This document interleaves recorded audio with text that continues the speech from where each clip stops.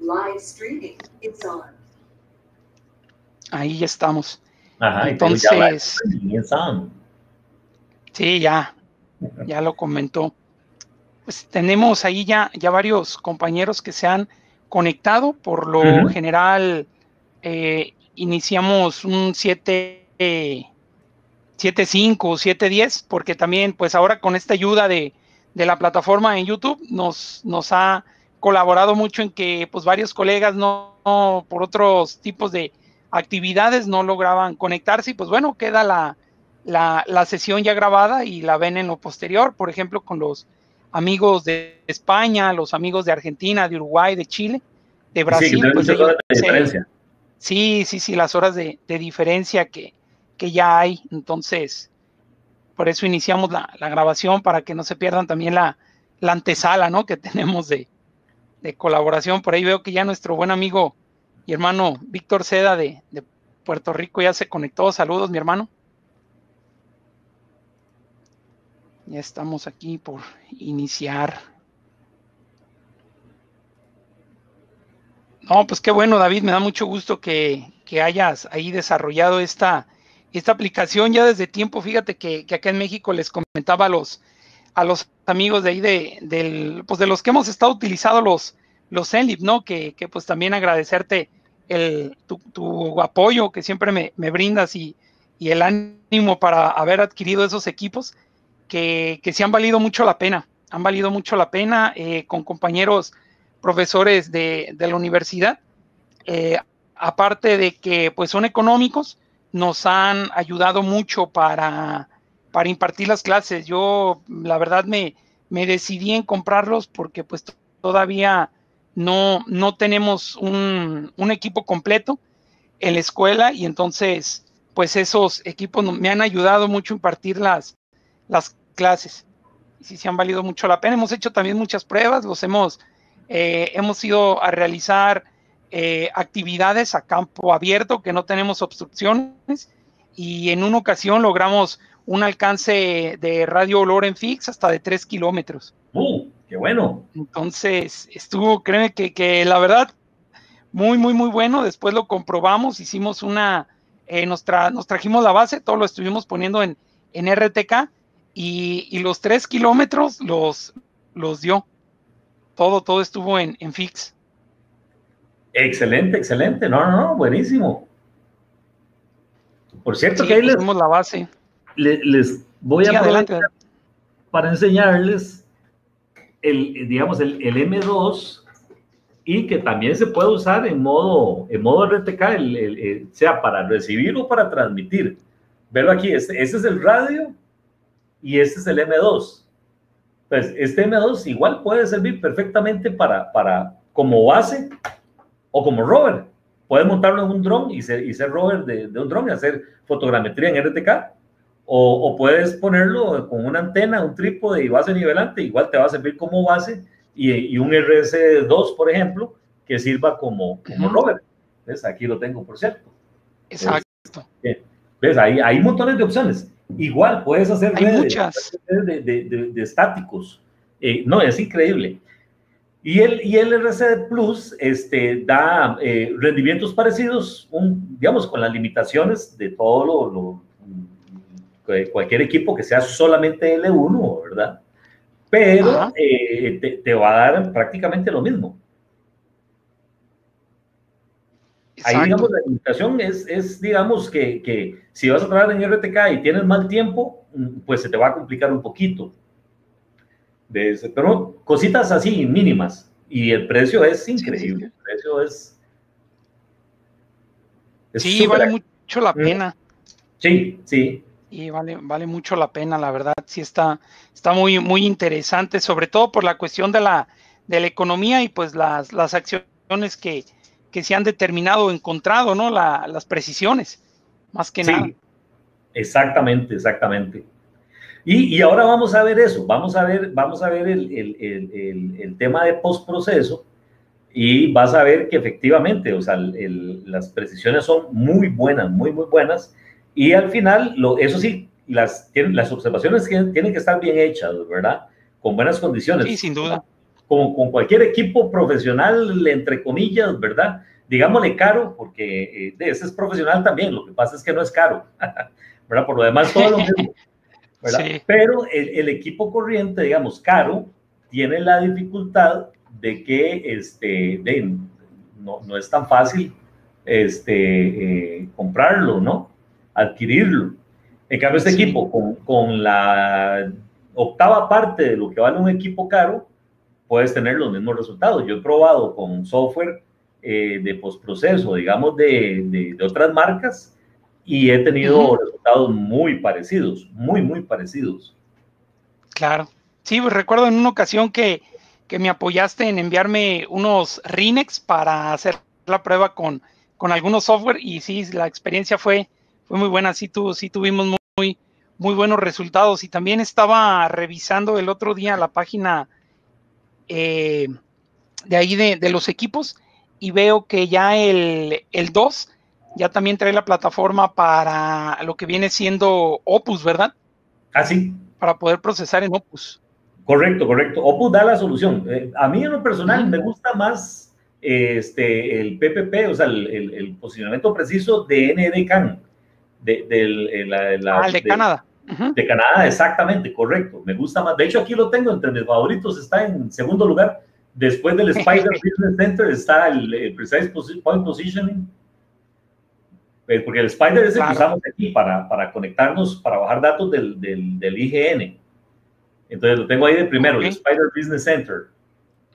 Y, este, y después de ahí tengo el NDCAM. Ah. Sí, sí, sí, no, pues es que lo que, lo que re, se, se, se, utiliza, ¿no? Mucho. Sí, sí, sí, sí, exactamente. Ahí, digamos, nada más tienes que tener cuidado de que el marco de referencia que utiliza NDCAM es, este, bueno, ITRF, que para el caso de nosotros es igual a Sirgas, pero uh -huh. en la época actual. Es decir, sería la época de esta semana. Al darte la solución, te da la solución en la época de esta semana. Exacto, exacto. Es, es donde, te, donde, hay que tener cuidado. Si, si necesitas moverlo en el tiempo hacia otra época, tienes que aplicarle este, eh, todas las, las, transformaciones, ¿verdad? Para claro. los, los, vectores, los, los vectores de, de, movimiento para, con, con, contra el tiempo. Y este, uh -huh. hay modelos de velocidad. En Circas están los, los famosos vemos, ¿verdad? Los, los modelos uh -huh. de velocidad pero hay que tener cuidado, ¿verdad? Este, pues una posibilidad, una posibilidad es buscar soluciones este, recientes de las estaciones del, del IGN, de, de, más cercanas, ¿verdad? De la, a la zona donde estás, calculas unos vectores de transformación y se los aplicas a tu uh -huh. punto y ya. Sí, los arrastras junto con, tu, con la estación de referencia, ¿verdad? Entonces, digamos, Exacto. para el caso de nosotros, nosotros ahorita estamos en 2017.08 entonces nada más sería calcular cuánto es el movimiento de los últimos, de 2017-08 a 2020, no sé, 49, póngale por decir algo, y, este, y aplicarle el, el, los mismos, el, la misma transformación en tiempo al punto que te están solucionando. Yo diría que es lo más, lo más fácil, ¿verdad? En lugar sí, de buscar sí, sí. el modelo, calcular los vectores, meterle una, el, el, cálculo, ¿verdad? Es, yo creo que es más fácil así. Claro, sí, sin duda. Pues, ¿cómo ves, David? Si ya damos, damos Vamos inicio para ya todos los, los compañeros que, que, se encuentran. Y bueno, me voy a, a permitir eh, principalmente pues agradecerte, David, por, por tu apoyo en, en colaboración a este proyecto de las mesas de trabajo de geomática. Y así, de igual manera, me voy a permitir leer un poco de un amplio currículum profesional, el cual eh, tienes eh, David Gustavo Canto Oriamuno, eh, costarricense mexicano, paisano, y bueno, cuenta con, con la formación académica como la UCR, diploma de perito topógrafo, eh, la Universidad de Costa Rica, también como ingeniería topográfica, la Universidad Autónoma de, de Centroamérica como ingeniero topógrafo y catastral, de la Universidad Autónoma de Centroamérica, ingeniero topógrafo y catastral, por el Colegio de Ingenieros Topógrafos, el curso de avalúos, también por el Colegio de Ingenieros Topógrafos, el curso de Sistemas de Información Geográfica en módulo 1 y módulo 2, así como también eh, consultor en la parte de, de, geodesia y GPS y también miembro aún, David, de, de la Comisión de Geodesia, ¿verdad? De, del Colegio de, Ingenieros Topógrafos de Costa Rica. Eh, pues bueno, para no extenderme más, porque si no yo creo que sería una, una hora mínimo para poder leer el, el currículum de nuestro gran amigo, sin duda, pues eh, una persona muy comprometida con la profesión, un gran ser humano que siempre eh, me consta que está ahí a cualquier hora para poder apoyarnos en resolver dudas, en platicar con él para, para proyectos, en estarnos asesorando, tanto a personas de acá de México como de otros países. Y bueno, David, de nueva cuenta, muchas gracias por tu apoyo y adelante, te cedo la voz de, la palabra. Muy bien, muchas gracias, muchas gracias Rico y, de verdad, este, para mí es todo un honor y, un gusto poder este, contestarle a todos los que me escriben de cualquier manera y con mucho gusto saco. Si en el momento estoy ocupado no les contesto, al día siguiente les contesto cuando se pueda, ¿verdad? Este, por poner un ejemplo, eh, me, me, habló en días pasados un colega, es español y está trabajando en Chile en este momento y me dijo que si le podía ayudar, que había tenido problemas este, con, el, con el Topcon Tools, bueno, con el Magnet Tools. Y entonces le dijo que te lo voy a calcular con mi, con, mi programa, que sé que les voy a mostrar ahora. Y se lo solucioné y se lo mandé. Y tal vez tardé como dos o tres días en, en hacerlo, pero, pero fue con muchísimo gusto. Igual cualquier colega, ahí estoy a la orden, ya saben cómo localizarme en Facebook, ¿verdad? O, o, o, o muchos conocen mi canal de YouTube siempre estoy subiendo vídeos a mi canal, ¿verdad? Mi canal es, este, cuando quieran eh, eh, suscribirse a mi canal, estoy regularmente subiendo diferentes vídeos para que eh, cosas diferentes que nos surgen en el, ejercicio de la profesión puedan ahí también evacuar dudas y me puedan hacer consultas con toda confianza, con toda confianza, de verdad, con muchísimo gusto. Bueno, este, estimados colegas, esta, esta tarde, bueno, tarde, todavía es tarde para mí, ¿verdad? porque todavía no ha terminado de caer el, el sol. Este, quería presentarles algo interesante, algo interesante que espero que, les va a ser de utilidad. ¿Por qué? Porque eh, los que ya tenemos equipo de GPS o GNSS, como quieran decirle, ¿verdad? En realidad técnicamente el nombre correcto en la actualidad es GNSS ¿verdad? Porque eh, eh, así es como se como se llama actualmente el servicio, ¿verdad? GPS es simplemente uno de los segmentos de, del servicio, ¿verdad? Es el segmento que, que, pone los Estados Unidos, después viene el segmento que pone Rusia, que es GLONASS, después viene el segmento que está funcionando ahorita gracias a la Unión Europea, que es Galileo, y el de China, que es el Beidou. ¿verdad? Entonces, como son en este momento cuatro constelaciones que podemos ver en nuestro hemisferio, entonces ya es algo más amplio. Entonces ya por eso se llama el servicio, se llama eh, Global Navigation Satellite System. Eh, sí, hay otras, hay otras constelaciones, está la QZSS, nada más que esa pues funciona entre Japón y Australia, así que pues no le podemos sacar provecho. Y este, los indios están tratando también de sacar un nuevo, un nuevo sistema no sé si va a ser de navegación o si va a ser solamente de, correcciones. Pero bueno, ahí está, el, se llama el IRSS. Este, mm, eh, parece que pues, está en desarrollo, ¿verdad? Pero pareciera que solamente va a estar a, disposición para la India. Así que entonces no nos hagamos de ilusiones y trabajemos con lo que tenemos, que ya en realidad nos da bastante, este, bastante rendimiento, nos trabaja muy, muy bien. Ahora, el tema es, si ustedes compran un equipo eh, de, marca conocida, póngale Leica, póngale Topcon, póngale Trimble, lo que sea, lo que ustedes quieran. Eh, muy regularmente, muy comúnmente nosotros necesitamos solucionar eh, nuestros puntos eh, que vamos a utilizar, aunque sea un RTK, si ustedes van a hacer un RTK, es su base, ustedes necesitan solucionarla. ¿Por qué razón? Porque este, ustedes no pueden trabajar con coordenadas de navegación. Si ustedes van a utilizar el sistema que, que, es el oficial de su país, entonces necesitan referirse a estaciones oficiales de su país.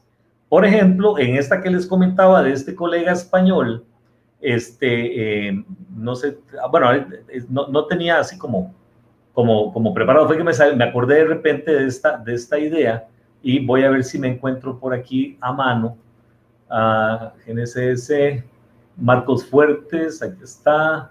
Ah, ok, correcto, aquí está. Él me envió y ya se los voy a, ya se los voy a compartir. Voy a compartir la pantalla principal. compartir pantalla 1. Ajá, ok. Ok, ahí lo están viendo, ¿verdad? Este, él me mandó la ficha técnica del punto que se llama BN09 y dice que está en la región de la Araucanía, allá en Chile. Y entonces, este, eh, aquí ustedes pueden ver en este sector de aquí, aquí están las coordenadas, la, la latitud, la longitud y la altura elipsoidal o elipsoidal, como quieran decirle, del punto, ¿verdad? Y con base en esas coordenadas es que ustedes tienen que solucionar los puntos que ustedes ponen, sus puntos nuevos, ¿verdad? Entonces, muchos de ustedes ya saben cómo se hace. Para los que no saben, ¿verdad? Porque la idea de este curso es que sea para todos, no importa el nivel, este curso, no, perdón, esta charla, esta, esta conferencia, no importa el nivel en que se encuentren, este, lo importante es que ustedes aprendan. Y si todavía no tienen experiencia con equipo GNSS, pues aquí compartimos desde el nivel cero, no hay ningún problema. Ok, entonces, ¿qué es lo que ustedes tienen que hacer? Ustedes ponen un punto eh, con una estaca o, un mojón eh, de concreto o lo que ustedes pongan, o como ustedes le llamen en sus países. Para cada país, yo voy a tratar de, usar expresiones lo más, lo más eh, universales posibles. Pero sí, siempre tenemos mucho, mucho regionalismo, ¿verdad? Eso es casi que inevitable. Entonces, ustedes ponen su, su punto, ¿no? Su, su mojoncito, su plaquita, como ustedes quieran llamarle. Y entonces ponen su base y con su base ella lo que hace normalmente es buscar sus coordenadas de, eh, de navegación y se fija con, con, algunas coordenadas de navegación que ella va a calcular después de un minuto de promediar o dos minutos, lo que ustedes le pongan, y con esas coordenadas de navegación promediadas y fijas, empieza a transmitir correcciones. ¿Ok? Entonces, el radio que ustedes tienen ahí en su, en su, en su base va a transmitir eh, los mensajes RTCM o CMR o, bueno, los mensajes VX, hay varios, varias tecnologías, ¿verdad? Para que ustedes puedan solucionar, eh, sí, solucionar su posición en tiempo real. Entonces, su rover, el que ustedes andan en el campo, va a recibir esas correcciones va a calcular su posición instantánea y se la va a pasar al colector de datos. Ok, entonces, ¿qué es lo que yo tengo que hacer? La base, la base yo simple y sencillamente tengo que solucionarla. ¿Y cómo la soluciono? La soluciono calculando un vector de posición a partir de un punto de referencia, un punto conocido, un punto que ya este, eh, se haya solucionado previamente y que, que esté solucionado y referido a el marco oficial del país. ¿A qué me refiero esto? Vean aquí, por ejemplo, aquí dice coordenadas geodésicas y UTM, ¿verdad? Bueno, aquí están las coordenadas geodésicas, aquí está ya transformado a coordenadas planas, ¿verdad? Aquí dice que la, la coordenada eh, al, al norte son 5.709.450.079, al este es tanto y el uso es tanto, es 18 para este caso, ¿verdad? Pero noten aquí a la derecha lo que dice. Aquí dice que el ITRF es el 2008 y que la época es la 2013.0. Ok, ¿qué quiere decir eso? Que esa época eh, es la oficial, por así decirlo, ¿verdad? Que cuando se solucionó la posición de esa antena, se refirieron a la época 2013.0 y que la época 2013.0 es la primera solución del ITRF en el año 2013. Y obviamente todo esto sale de Sirgas. Si ustedes buscan en la página oficial de Sirgas, ahí están todas las soluciones desde hace un montón de años para las diferentes estaciones de referencia que hay a nivel mundial. En el caso de, Costa Rica, en el caso particular de nosotros, este, nosotros tenemos ocho estaciones de referencia en el país le comentaba hace unos minutos a, a Rigoberto que tenemos este, un país muy pequeñito, tenemos un país de 51 mil kilómetros cuadrados y tenemos ocho estaciones de referencia. Entonces, prácticamente todo el país está totalmente cubierto por las estaciones de referencia. En cualquier lugar del país que uno vaya, este, puede tener una solución. Pero este, nuestra solución oficial en este momento, o nuestro marco de referencia, está pegado, por así decirlo, está referido o amarrado al ITRF 2008, pero en la solución, no, perdón, 2014, al ITRF 2014, pero en la solución 2017.08. Eso quiere decir que en el mes de marzo, creo que fue, sí, como en marzo de ese año 2017, se hizo una solución de todas las estaciones de referencia, ¿verdad? Que la publicó Sirgas. Ustedes pueden buscarla, es la, semana, es la semana 1934, semana GPS, ¿verdad?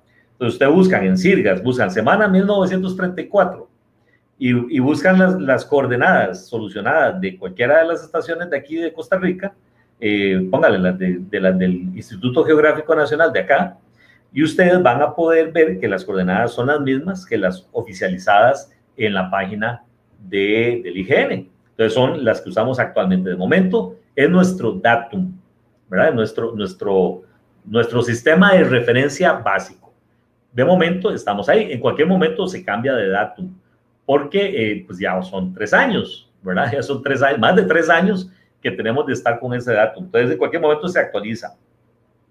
Y ya pasaríamos al ITRF 2018 y a una solución más actualizada, ¿verdad? Eso hay que estarlo cambiando regularmente porque, este, por lo menos aquí en Costa Rica, tenemos mucho, eh, mucho movimiento. Nuestra placa tectónica, la principal, ¿no? La, la, la, la de, la de Cocos, este, eh, tiene mucho movimiento eh, con respecto a las demás placas. Por eso es que tenemos tanto sismo aquí. Ustedes tal vez constantemente oyen de que hubo sismo de tanto en Costa Rica. Este, bueno, es porque aquí es muy sísmico. Entonces, este, eso, eso también le hace a uno entender de, de por qué es que nos movemos tanto por ejemplo, ahora, ahora estaba haciendo un cálculo para mis alumnos del curso de, de GNSS, eh, que está aquí, por cierto. Y este, vieras que me, me llamó la atención porque tenemos para el mismo punto eh, una solución actualizada eh, con el datum actual y una solución en CR05 que fue el datum tras anterior que teníamos de hace eh, de hace 15 años y contra el que hicimos hace tres años, en cuestión de 12 años, por ejemplo, el país caminó 12 eh, centímetros hacia el este y que serían 23 centímetros hacia el norte y tenemos uh, 11 centímetros en sentido vertical. Es un movimiento bastante, bastante fuerte para la cantidad de años que, que han pasado, ¿verdad? En 17 años es un movimiento muy grande. En, sí, eh, del 17, en 12 años.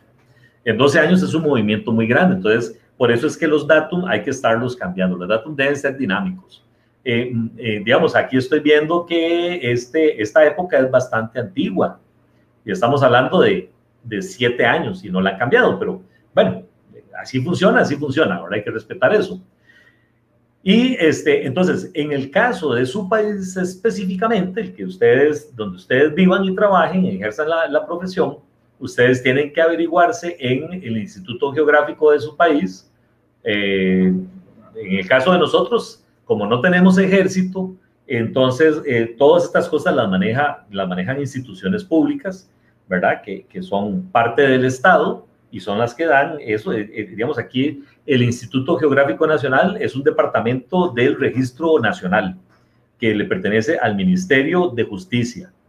Pero en otros países, como por ejemplo en, creo que en Chile, eh, me parece que este caso es, lo maneja el ejército, ¿verdad? Vamos a ver, Ministro de Bienes Nacionales, Ejército de Chile, dice aquí, correcto. Instituto Geográfico Militar. Entonces son, son, son casos diferentes, ¿verdad? Cada, cada país lo maneja pues como le convenga más. Me imagino que en el caso de los países que tienen ejército, que, que, normalmente son los que manejan esto.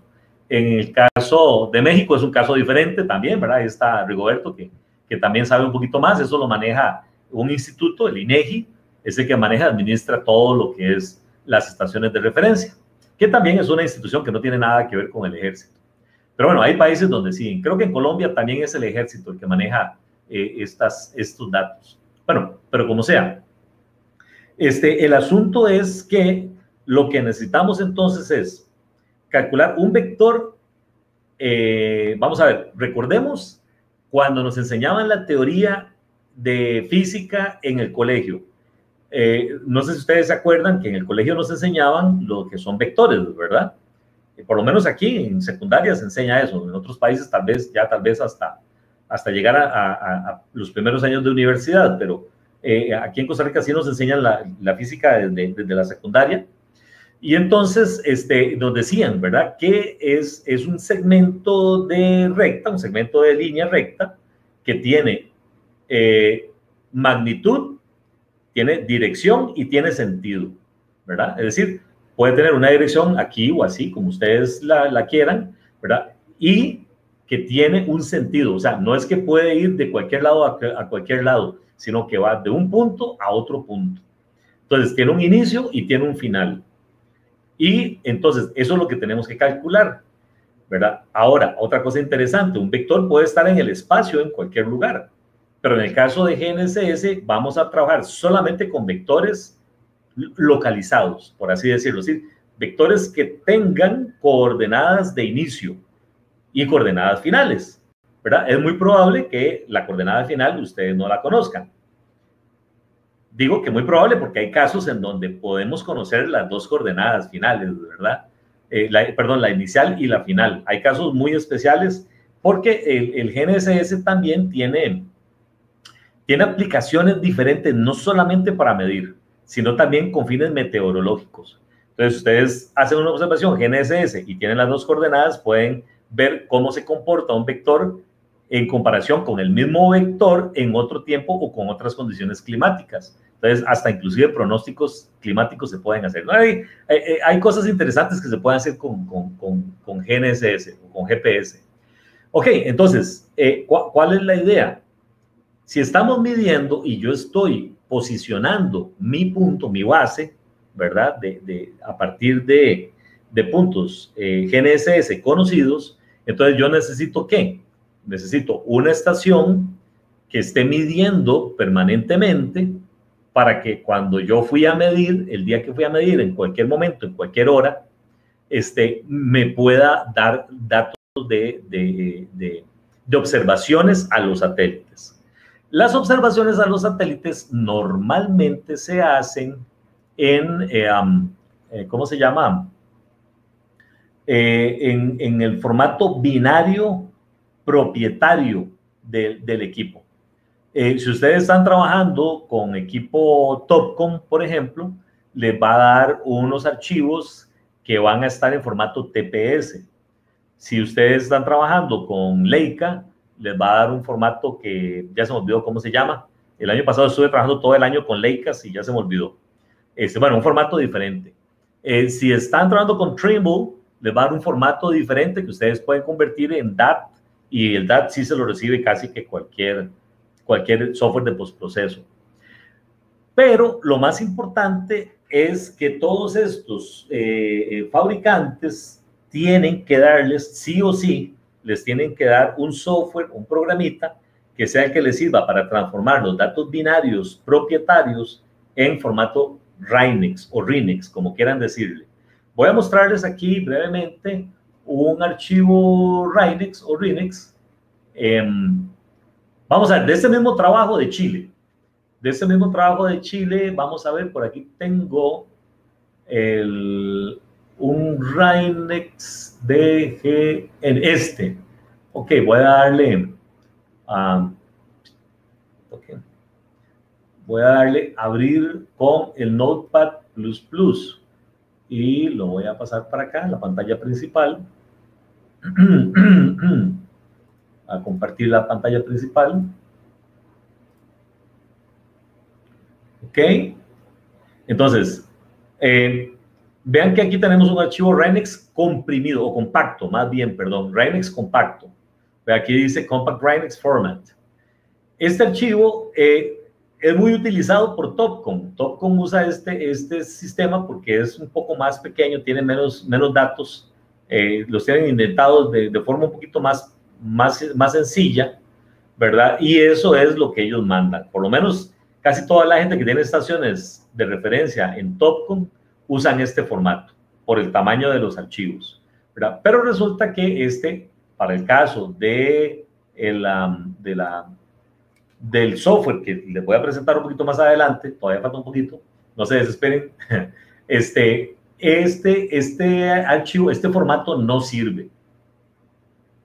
Aquí tuve que hacerle, eh, vamos a ver, aquí tengo 20, 20, 20, 20, ya se me olvidó qué nombre le puse, rar, rar, para solucionarlo tuve que transformarlo a Rainex convencional. Vamos a ver, sube. Ya se me perdió. Ok, bueno, voy a, abrir otro, otro Rainex convencional. Em, vamos a ver, aquí tengo este.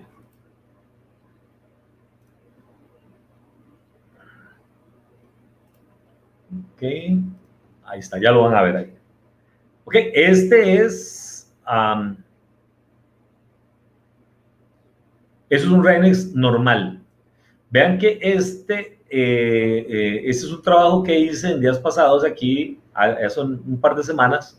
Lo hice aquí en la, en la zona del norte de nuestro país, cerca de la frontera con Nicaragua, en un cantón que se llama Upala.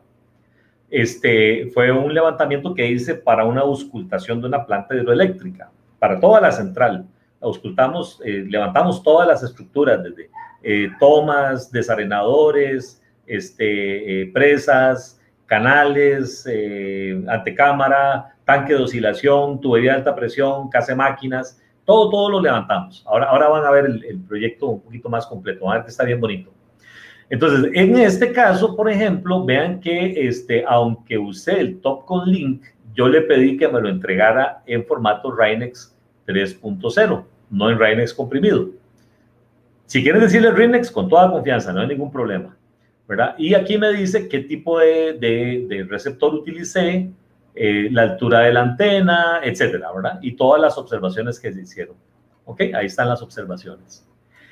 Entonces, este, eh, esos son los archivos que vamos a utilizar. Cuando tenemos dos, em, dos eh, em, receptores en puntos diferentes, puede ser uno que sea eh, una estación de referencia y otro que sea nuestro receptor base, por ejemplo, cuando vamos a hacer un RTK. Entonces, entre esos dos equipos que generaron un archivo Reinex cada uno, o Rinex, cada uno, podemos generar ese vector.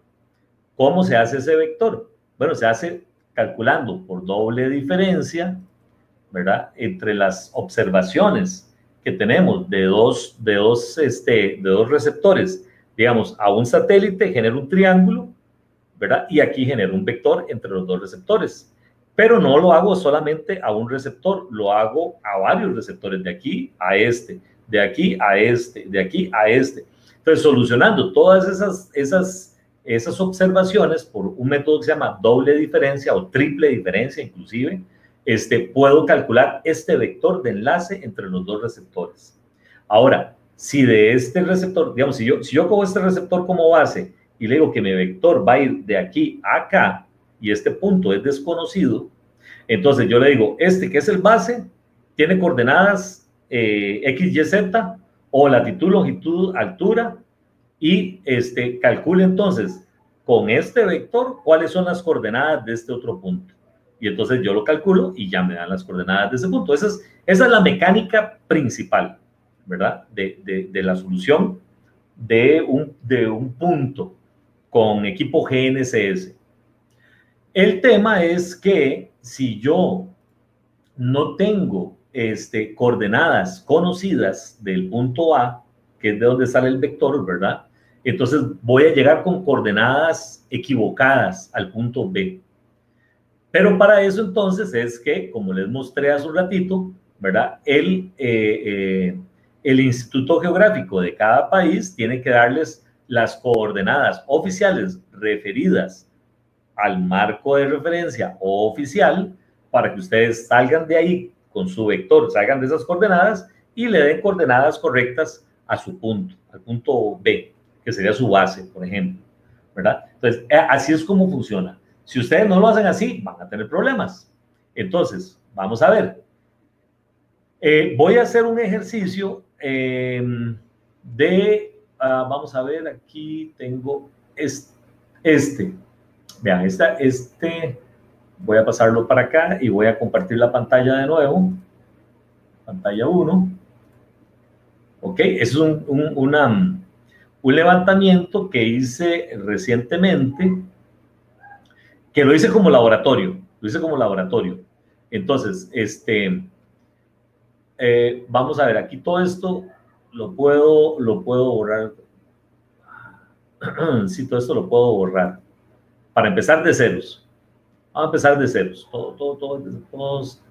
Eh, sí, ok, perfecto. Ok, y de aquí, inclusive los, los los voy a eliminar. Um, tengo aquí tengo esto, esto lo puedo eliminar, eh, esos vectores también los puedo eliminar, está, y, ok, yo creo que esto también lo puedo eliminar, todo esto.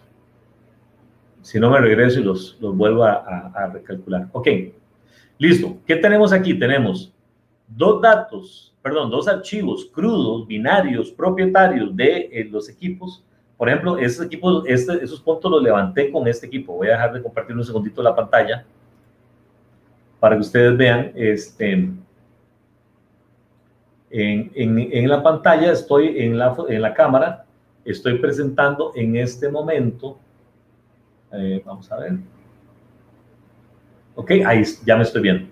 Eh, en este momento estoy viendo, estoy presentándoles en la cámara un equipo que es eh, eh, un equipo que es de, un precio, de un valor muy accesible. Es ahorita, digamos, la mejor opción para, para el topógrafo porque no hay que invertir 30 mil dólares o 35 mil dólares en un equipo. Una pareja de esos equipos anda en el orden de los 5 mil dólares, en el orden, ¿verdad? Puede ser un poco más, un poco menos, dependiendo de su país y el precio que el distribuidor de su país le ponga, ¿verdad? Pero es una, una excelente opción. Con esto pueden hacer ustedes observaciones de ese tipo que estamos hablando sin, este, sin tener que hacer una, em, eh, una inversión demasiado grande. Ok, entonces, ese equipo, eh, perdón, este levantamiento que estamos viendo ahorita en pantalla, lo hicimos en, eh, entre, entre aquí donde, donde vivo yo, en la casa de ustedes, ¿verdad? En un sector de la capital que se llama Pavas, y otro sector de Heredia, que es otra provincia que está de aquí a 15, 20 kilómetros, en un pueblito que se llama San Isidro. Entonces hicimos un triangulito entre el Instituto Geográfico Nacional, Pavas y San Isidro, ¿verdad? Entonces, estos, estos tres eh, Rinex o Rinex que tenemos aquí, ¿verdad? Vean que los tres, en realidad, los tres archivos componen un archivo Rinex. Lo que pasa es que este es el archivo de observación y estos dos archivos son de navegación. ¿Ok? Y esos son datos crudos binarios de, eh, de, esta marca de, de, EMLIT. ¿Ok? Ese es el modelo, el EMLIT RS2. Para que ustedes lo busquen en su país, busquen al distribuidor de EMLIT en su país y eh, pueden entrar a la página de EMLIT. En la página de EMLIT están las listas de los distribuidores eh, por país. Entonces ahí pueden, pueden llamar y preguntar los precios, ¿verdad? Ok. Eso nada más como una, como una recomendación, es una, una, una buena, muy buena posibilidad. Ok, si ustedes abren un archivo de estos, van a ver que es un archivo binario, obviamente. Véanlo ahí, ahí está. Eh, totalmente inentendible, ¿verdad? Porque es información binaria. Pero resulta que yo puedo este, transformar esto en, eh, un archivo Reinex. ¿Cómo le hago? Bueno, esa es una de las primeras funciones que tiene el Cantop. El Cantop es el, el, programita que, este, por el que me, me invitaron eh, aquí con ustedes porque, vamos a ver, vamos a abrirlo, porque este programita lo desarrollé yo, ¿verdad? Este, eh, en mis ratos libres, este, desarrollé este programa. Este programa lo que busca es ser una herramienta. Inicialmente lo dice como yo soy el distribuidor de Emlit aquí en Costa Rica, lo, lo, lo, lo desarrollé para que sirviera, bueno, era un programilla viejo que yo había hecho desde hace muchos años, desde que no existía Windows. Lo hice en, un lenguaje que, que, compilaba para, para DOS, que existía en aquel entonces. Después lo volví a hacer para Windows, pero le he ido metiendo y metiendo y metiendo, e inclusive le he metido muchas herramientas para que sea compatible eh, o, sea una, una, herramienta complementaria para los Assembly. Entonces, por ejemplo, vamos a abrir un archivo nuevo, ahí mismo en esta carpeta, que se llama, aquí, Tecan Ready. Vamos a poner aquí este, puntos, poner un nombre. Y yo le pongo de extensión CTP. ¿Ok? Ahí está ya, aquí apareció punto CTP. Ese es el archivo que estoy trabajando ahorita con el con el Tecan. Este, perdón, no estoy compartiendo pantalla, ¿verdad? Qué pena, se me olvidó, disculpen. Ok, pantalla 1, compartir. Listo, ok, perdón. Este, entonces, decíamos, aquí tengo la carpeta donde tengo mis archivos binarios y aquí tengo los RINEX que me mandó el, el geográfico de aquí de Costa Rica. ¿Ok? Entonces, ese es el CANTOP. Esa es la pantalla principal. A partir de aquí es que vamos a poder hacer todas las, las diferentes actividades. Entonces ya abrimos un archivo nuevo, ya lo estamos trabajando y vamos a empezar con la, lo primero que tenemos que hacer es convertir a Rinex. Esos archivos binarios los tenemos que convertir a Rinex o Rinex, como quieran decirle. Vamos a usar este primero. ¿verdad? Este, eh, vean que dice aquí que es un dato crudo levantado en el año 2020 en mayo 18 a las 17 y 25. ¿Ok? Ese es el archivo que vamos a abrir. Y vamos a transformar. Vamos a decirle que vamos a trabajar con dos frecuencias y como el IGN me manda a mí solamente GPS y GLONASS, entonces vamos a decirle que me corte Galileo de Beidou. No queremos hacerle. Este punto está, como les decía aquí, en este sector que se llama Pavas.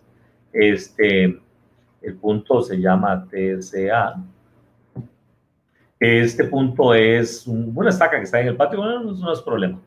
Y el tipo de receptor, le digo que es un RS2 y el tipo de,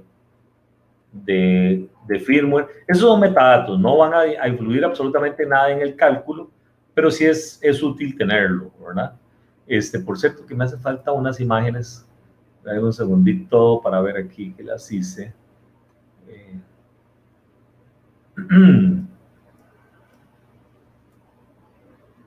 Eh, vamos a ver.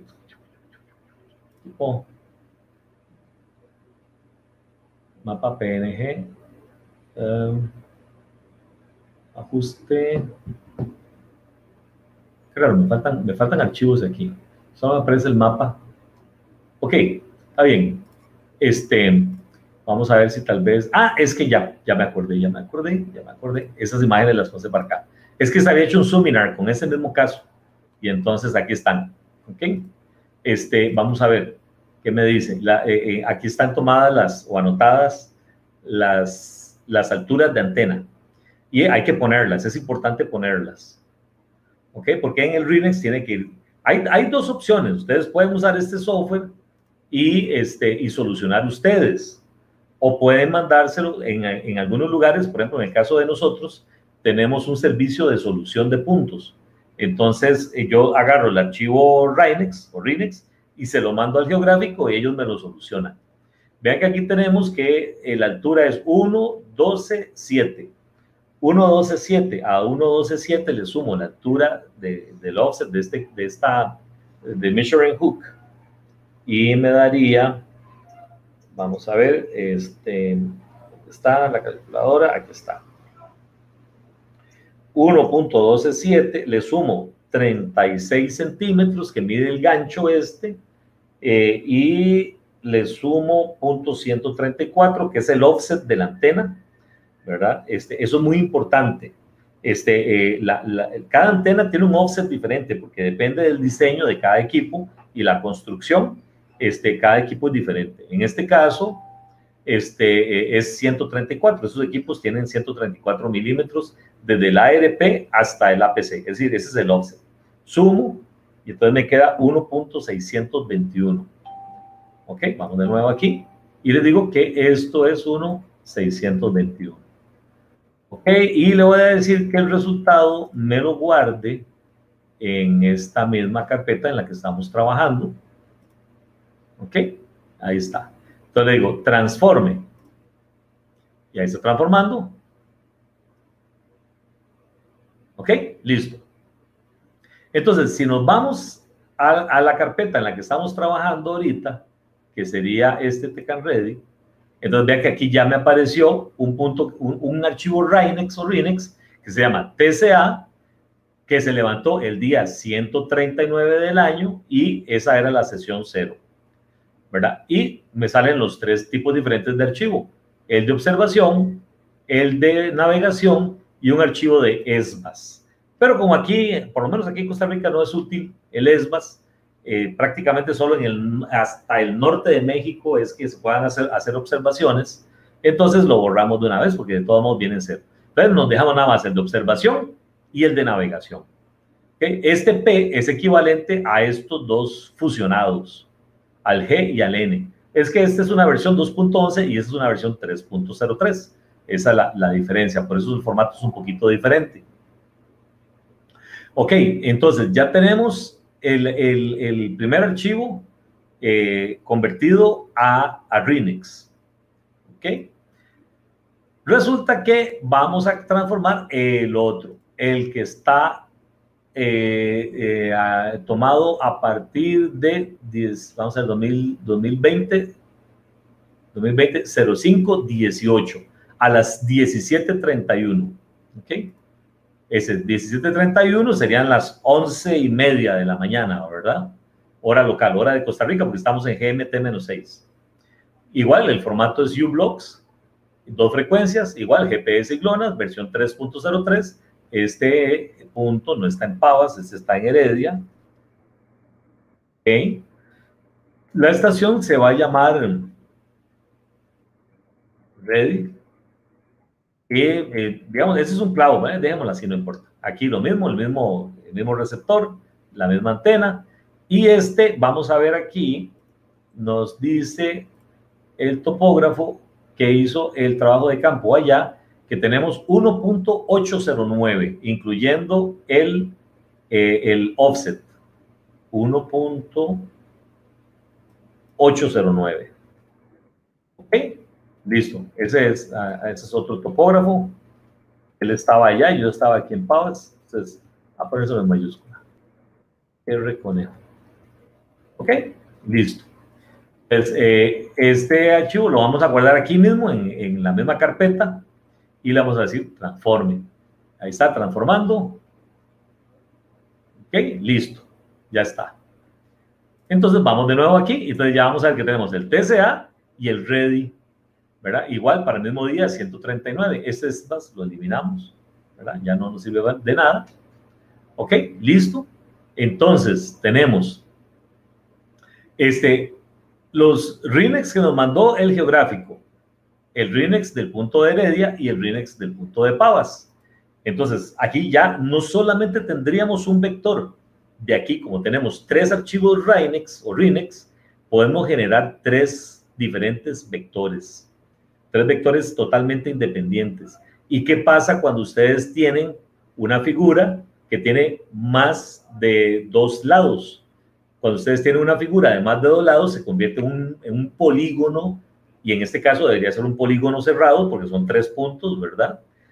Y un polígono cerrado, en topografía, ustedes saben que ustedes lo pueden ajustar. Entonces, vamos a tener no solamente tres vectores y donde vamos a poder calcular las coordenadas de los tres vértices, o por lo menos de dos vértices, sino que también vamos a poder darle un ajuste por mínimos cuadrados. Ok, vamos a verlo entonces ahorita cómo es que se hace. De momento, calculemos solamente los vectores.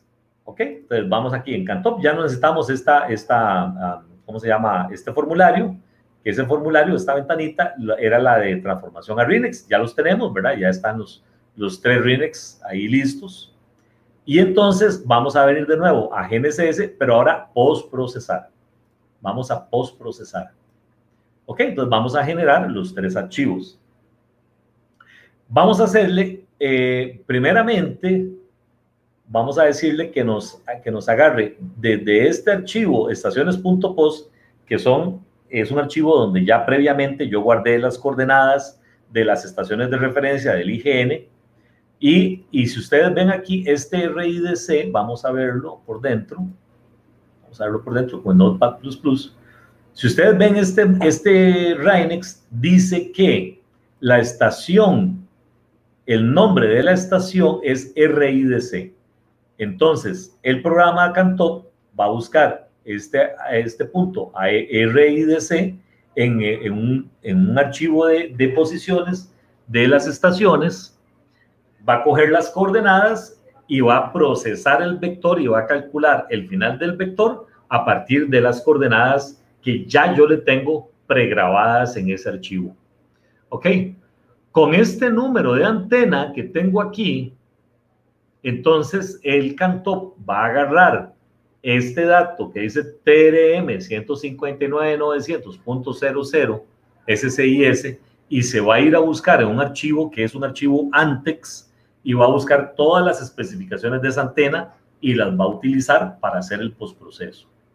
¿Ok? Entonces, ¿cómo hago yo eso? Porque yo le digo aquí que el archivo de observación sería el RIDC este, ¿verdad? El, el, que termina en O, porque es el de observación. Le a abrir. Y la antena le pongo un asterisco para que use el dato que está en el archivo Rhinex.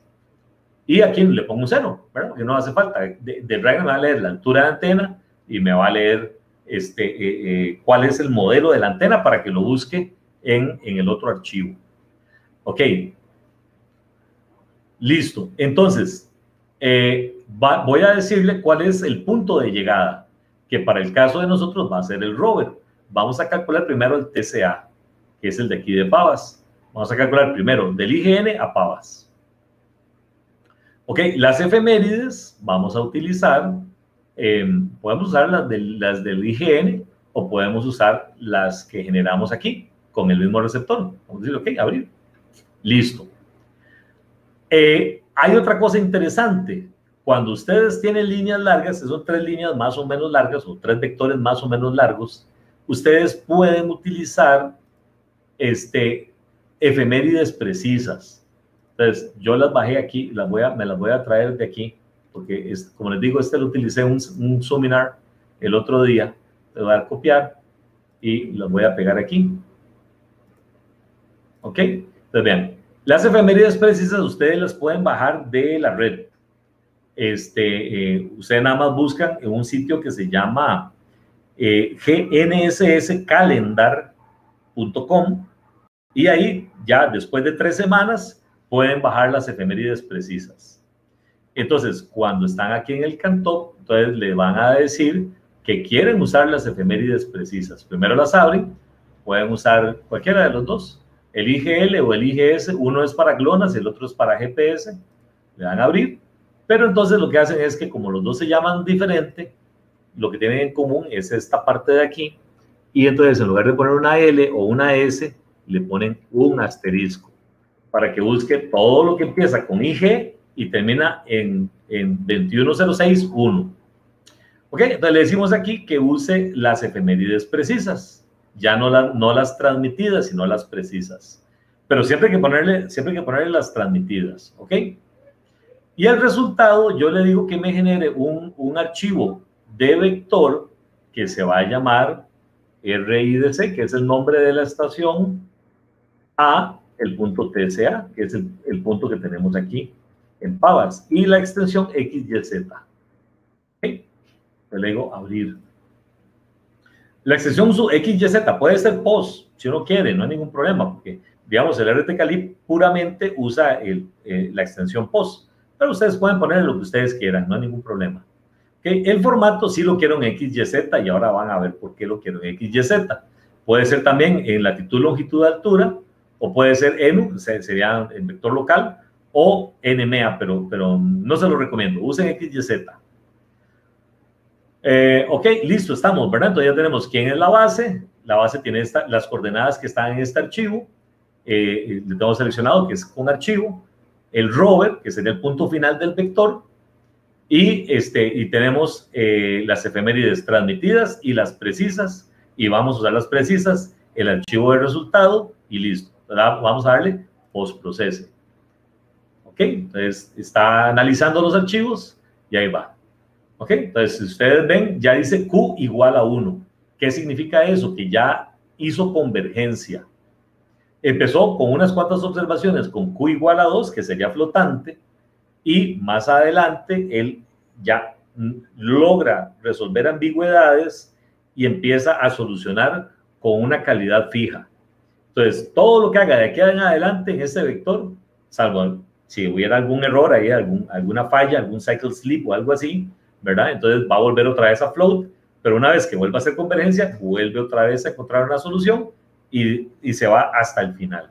Eh, él, tiene que terminar su, su, su postproceso con calidad igual a 1. Ok, entonces vamos a darle chance, porque esa, esta medición fue un poquillo larguilla.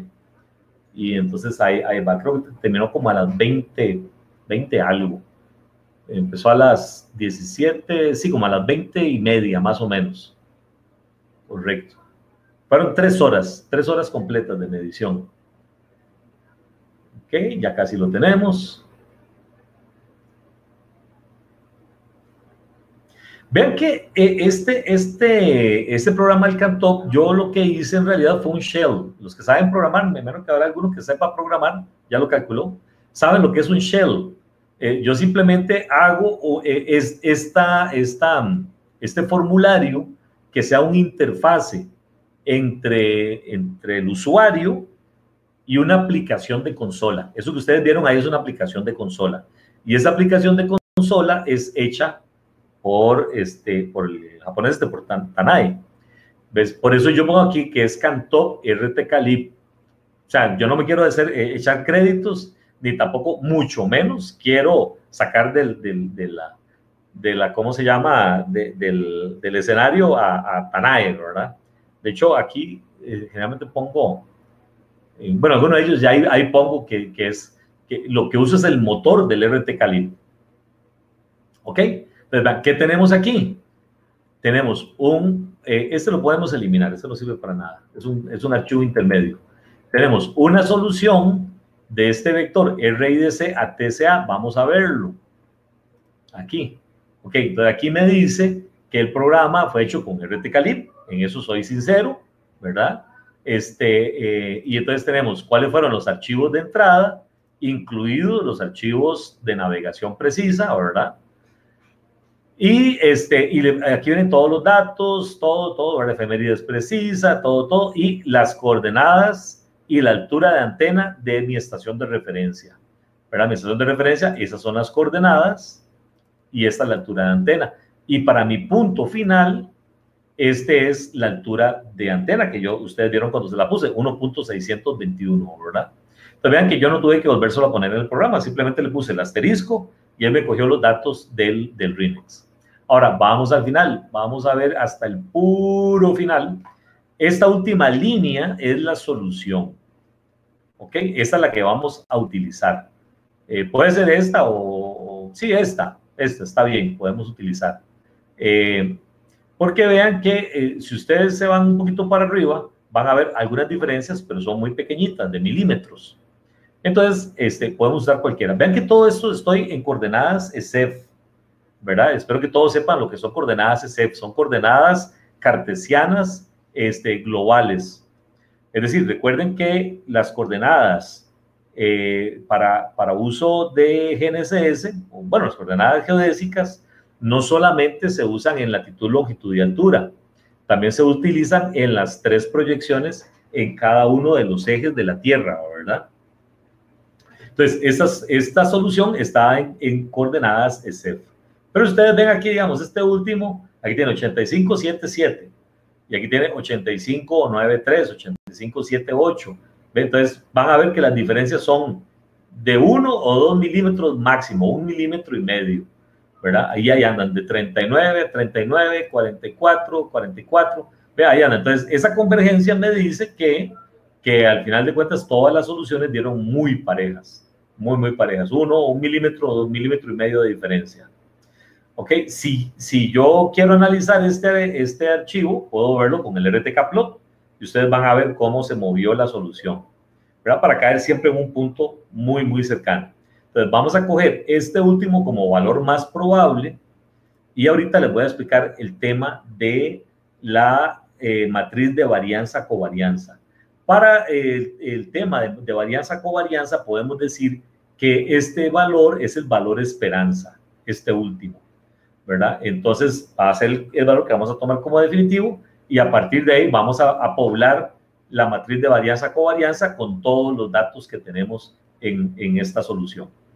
Ok, ahorita lo vamos a ver un poquito más adelante. Entonces, todo esto es parte del, del postprocesamiento que estamos haciendo. Ok, ahora vamos a calcular el otro punto. Vamos a calcular a partir siempre de R y de C para no hacer cambios. Vamos a, a calcular el otro, el otro vector que iría de R y de C al punto ready. ¿Ok? Entonces vamos a cambiar aquí, nada más. Entonces vean que ya tenemos un Rinex diferente aquí. La base sigue siendo la misma porque los dos, los dos vectores están saliendo, perdón, de la estación de referencia del IGN. Siempre con el mismo archivo de posición, siempre con las mismas efemérides precisas y transmitidas, las dos igual, no vamos a hacer ningún cambio. Nada más vamos a indicarle aquí que este nuevo vector se va a llamar RIDC already. ¿Okay? Igual, la misma extensión, el mismo formato, todo exactamente igual. Luego post procese. Y ya ahí empieza, está analizando los archivos y ahí está. Vean que está empezando con Q igual a 2. Este sí le va a tomar un poquito más. Ahí está, ya está en 1, ya hizo convergencia. Y ahí se va a ir este, hasta llegar al último cálculo que, este, que va a hacer. Cada, cálculo está referido a el segundo anterior. Es del segundo, de, un segundo específico, hace el, el, cálculo con el segundo siguiente y esta, el que sigue, es de ese segundo al que sigue después. Entonces, por eso es que cuando ya decimos que hizo convergencia, es porque ya el resultado me está dando muchísimo más este, estable, ¿verdad? Que ya, ya este, el, el, la diferencia con el cálculo anterior es mínima. Entonces va a ser así, de décimas de milímetro, y entonces al final vamos a tener esas, esas, eh, eh, eh, esos cálculos tan, tan estables, por así decirlo, ¿verdad? Ok, listo. No, todavía le falta 20, 30, ya casi, ya, ya casi terminamos. ¿Ok? Listo. Ahora sí, vamos a ver. Eh, ahora sería del RIDC al ready. Ese igual lo podemos eliminar, es un archivo intermedio. Ya tenemos este, vamos a verlo, a ver qué es lo que tenemos. Igual, vean que salimos del mismo punto, que es el, el punto RIDC del geográfico, ¿verdad? Y este, vean la altura de antena que habíamos puesto 1.809, todo lo demás es igual y tengo la nueva solución de este otro nuevo punto que está aquí en la última línea. Entonces vean que también igual, 9.09, 9.09, todos iguales con la diferencia de décimas de milímetro, 0.91, 0.92, 0.91, 0.92 y ahí se va, todos son iguales salvo la décima de milímetro. Y aquí también 821, 824, 821, 824, Ahí va, 2 milímetros, 3 milímetros de diferencia. Ok, listo. Ya tenemos entonces dos vectores, el que viene del geográfico a mi casa y el que va del geográfico a San Isidro de Heredia. Ok, ahora, con estas coordenadas finales del, del TECAN, voy a volver a calcular el punto ready, pero saliendo del TECAN para obtener el vector que me hacía falta, el tercer vector, ¿verdad? El que une los dos puntos, que de hecho le va a dar amarre. Entonces yo le voy a decir aquí, perdón, que el punto base va a ser Tecán, ¿verdad? Entonces yo le digo que aquí está el TCA, ¿verdad? Ahí está. Entonces le digo, el base es TCA. Y va, voy a medir el vector o calcular el vector que va de TCA al punto ready. ¿Ok? Pero resulta que las coordenadas del TCA no están en este archivo. Entonces yo voy a meterle a mano las coordenadas del TCA para que me calcule las nuevas coordenadas del punto ready. Entonces yo me vengo aquí y le digo, eh, ese es el punto TCA. Este, esas coordenadas finales son las coordenadas que calculé del TCA. Yo le digo copiar y aquí le pongo control V para que me las pegue, ¿verdad? Control C, control V, nada más. Aquí le doy control C y aquí no cojo el menos, no se asusten. No coge el menos porque cuando yo le doy doble clic aquí, me coge solo los números, no me coge el menos. Entonces le doy control V y ya lo pegué. Y la coordenada en Z. Positivo porque estamos en el hemisferio norte. Control C. Y le doy aquí doble clic y le doy control V. Ok, entonces ahora estas sí son las coordenadas del punto TCA. Entonces, con estas coordenadas y este vector calculado me va a dar las coordenadas finales del punto ready. Entonces, ahora aquí, este, este vector o esta solución se va a llamar TSA a ready, ¿verdad? Es el otro vector. Y lo mismo, todo lo demás exactamente igual. Y le digo post procese. Ahí está, empezando con Q igual 2. Ya hizo un toque, ahí está, ya hizo convergencia, se volvió. ¿eh? Y ahí está, ya hizo convergencia. Listo, entonces ahí se va prácticamente hasta el final, este, calculando con, con el Q igual a 1. Ok, entonces vean, vean lo que estamos haciendo, ¿verdad? Empezamos hablando de que yo puedo solucionar el punto final de un vector, pero resulta que ahora tengo tres vectores y es lo mismo. Ustedes pueden tener cuatro puntos, por ejemplo. Ustedes pueden tener cuatro puntos, A, B, C y D. Y entonces, si tienen solamente dos receptores, entonces, ¿qué es lo que van a hacer? Van a poner este, un receptor en A y otro en B. Después, el que está en B lo pueden pasar a C. Y ese mismo que está en C lo pueden pasar a D. Entonces ya tienen tres vectores, el de A a B, el de A a C y el de A a D. Ahora, el que está en A lo pueden pasar para el, que es, para el punto que está, para el punto eh, C, entonces ya tendrían el vector de C a D, ¿verdad? Y, este, y después el que está en D lo pueden pasar para, vamos a ver, eh, A, B, C, D, ya tengo el A, C, ya tengo el A, B y ya tengo, ok, el que está en D lo pasan para B, para que tengan el otro diagonal. Entonces, ¿qué es lo que tienen? Tienen seis vectores, ¿verdad? De, un, de un una cuadrícula siempre tiene que darle seis vectores. Y esos seis vectores lo pueden también ajustar. Y ahorita vamos a ver cómo los vamos a ajustar. De momento, eh, este ejercicio es muy sencillo porque es solamente un triángulo. Entonces, es, es muy, muy sencillo. Vamos a ver qué tenemos aquí. Ahora tenemos un vector de solución que va de TCA a ready, que sería este. Vamos a verlo. Vamos a abrirlo con Notepad++ y ven que aquí me dice que está saliendo de las coordenadas del TCA con las dos alturas de antena que ya le metimos a los RINEX y con todos estos archivos que vimos que son los mismos, pero vamos a ver las coordenadas que nos está calculando de nuevo ahora del punto ready, estas coordenadas nuevas. Vean que aquí tenemos que la coordenada en el eje X es, bueno, 499, 91, 48. Pero el cálculo directamente desde el geográfico me está dando 90, 94. O sea, hay 5 milímetros de error, ¿verdad? O de diferencia. En realidad, en realidad es un error, pero la diferencia entre un cálculo y el otro, por los dos diferentes caminos, ¿verdad? Uno directo del IGN a San Isidro y el otro del IGN Pavas San Isidro, entre esas dos, esas dos rutas diferentes, tengo estas diferencias. En el eje Y, que es el que normalmente tiene más error, tengo de 90916 a 1164. Entonces tengo ahí dos, este, 16, ¿cuánto era? 0916 a 1164. Es como, como, como, como 10 centímetros más o menos. Pero bueno, no importa, es un ejercicio. Y aquí tengo eh, de 81.63 a 82.19. O sea, tengo 5 milímetros de diferencia. Ok, entonces vean que esa diferencia que hay entre uno y otro es lo que yo tengo que ajustar, lo que tengo que ajustar con, con el software de ajuste. Ahorita vamos a, ahorita se los voy a presentar, el software de ajuste. De momento lo que vamos a hacer es, aquí podemos ya salir, ya no vamos a hacer más postproceso. Este, y vamos a decirle aquí que quiero importar esos archivos POST. Esos archivos son los archivos que les digo que son POST.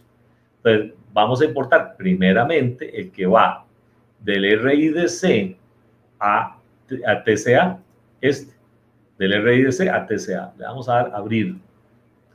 ¿Cuál es el punto de referencia? RI, vamos a ponerlo en mayúscula, que sea más bonito. RIDC, a decir OK. Guarda el punto de referencia, sí, guardémoslo.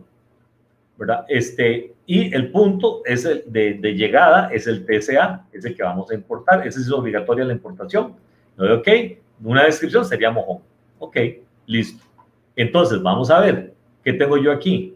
Tengo el punto RIDC ya guardado y tengo el punto TCA ya guardado. ¿Ok? Este punto no nos sirve de nada. Si queremos, podemos eliminarlo, borrémoslo. Ok, entonces tenemos el primer punto, el RIDC, y el segundo punto, el TCA. Listo. Ahora, vamos aquí a el vector o el archivo de solución RIDC a. Me dice que el archivo ha sido modificado por otro programa, que si lo deseo recargar, le digo que sí. Y vean que me salió una nueva línea aquí, que no estaba antes. Es que el Cantop me agarra y me calcula de este archivo de soluciones, me agarra este valor más probable que es el valor esperanza que yo les decía a ustedes, le resta las coordenadas de la estación de referencia y me calcula estos deltas. Aquí ese es el delta X, delta Y y delta Z. Y esos deltas están en metros. Pero además de eso, me calcula la matriz de varianza-covarianza. Este primer valor es la varianza en X, esa es la covarianza XY y la covarianza XZ.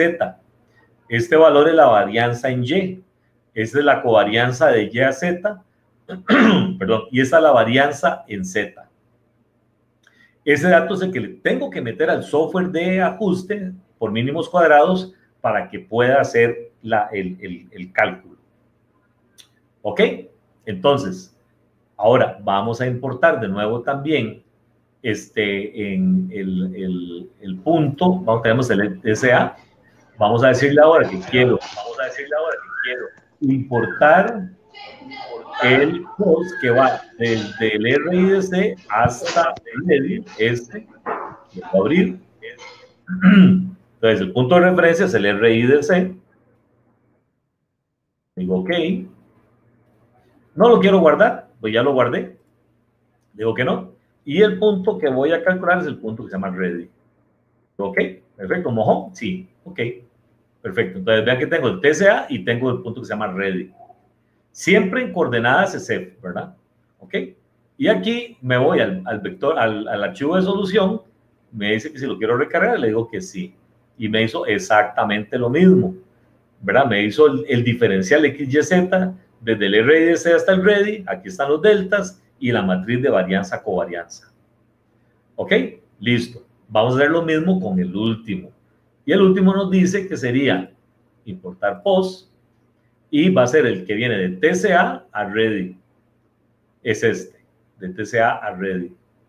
Entonces, el punto de referencia es el punto TCA y el punto de llegada es el punto ready. Ese no lo quiero guardar, ya lo guardé. Y el punto ready es el punto de llegada. Le digo, ok. Y mojón. Ese sí me lo guarda.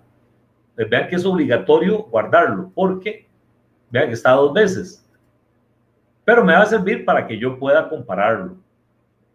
Vamos aquí a exportar. Entonces vamos a ver las, la, la, diferencia entre uno y otro. Ok, son dos, dos, un centímetro y medio, perdón. Ok, es que no, no, me costó un poco verlo de un archivo al otro, pero entre este punto y este punto en el eje Y lo que hay son 15 milímetros de diferencia, ¿verdad? Este, con, con eh, no, dos, 25 milímetros, perdón, 25 milímetros de diferencia.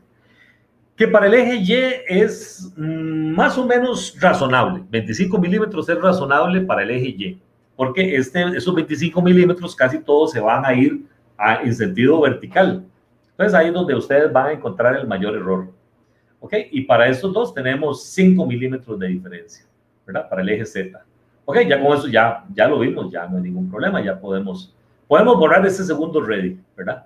Eso es para que ustedes puedan apreciar la diferencia entre una llegada y la otra llegada. Listo. Ahora, entonces, yo quiero agarrar este punto RIDC, lo voy a pasar a, este, a esta lista de puntos que yo quiero y voy a generar un archivo de posición para salsa. Entonces le digo posición. Entonces vean que aquí tengo unos datos que son las coordenadas del archivo RIDC, del punto, perdón, del punto RIDC, ¿verdad? Que eran nuestras coordenadas fijas, ¿verdad? Porque son oficiales. Entonces, las coordenadas fijas oficiales las vamos a coger como, como referencia para todo. Entonces, vamos a calcular todos los demás puntos, los vamos a calcular a partir de ahí.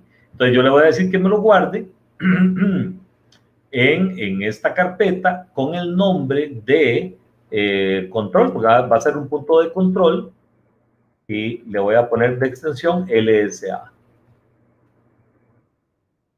Con un espacio ahí, ¿verdad? Ok, control.lsa. Porque es para el, para, el, para, el, para el programa Salsa, que ahorita, ahorita lo van a ver. Ok, entonces vamos a aquí limpiar, a limpiar esta lista y vamos aquí a limpiar para que me quede otra vez los datos originales que tengo en, en la base de datos. Ahora voy a generar un archivo de XYZ, archivo de diferencial, pero yo no necesito los puntos que tengo ahí, sino que lo que voy a hacer es coger primeramente el punto que va del RIDC a TCA. Vamos a ir a abrir y ven que aquí está esta línea ya. Me agarró la última línea del archivo, la que ustedes vieron que le metió nueva, la leyó y me la puso aquí. Esa línea está aquí. Ok, vamos a ver el siguiente diferencial. El siguiente diferencial va a ir del, de, de TCA a Ready. Ahí está, ahí está, de, T, de TCA a Ready. Entonces tengo la llegada a Ready a través de TCA y ahora la llegada a Ready a partir del RIDC directamente. Entonces lo que tengo son dos vectores por un lado y un vector por el otro que se supone tienen que llegar al mismo punto, pero ustedes vieron que hay una pequeñita diferencia. Entonces, esto es lo que vamos a, ajustar. Entonces, ya tengo este archivo, le voy a decir que me lo guarde y que me lo guarde como un triángulo. Triángulo y la extensión igual va a ser LSA. datos guardados correctamente, listo, vamos a salir de aquí, ya no lo necesito. Y vamos a ver aquí entonces qué tenemos. Ya que tenemos dos archivos, uno que dice control y uno que dice triángulo.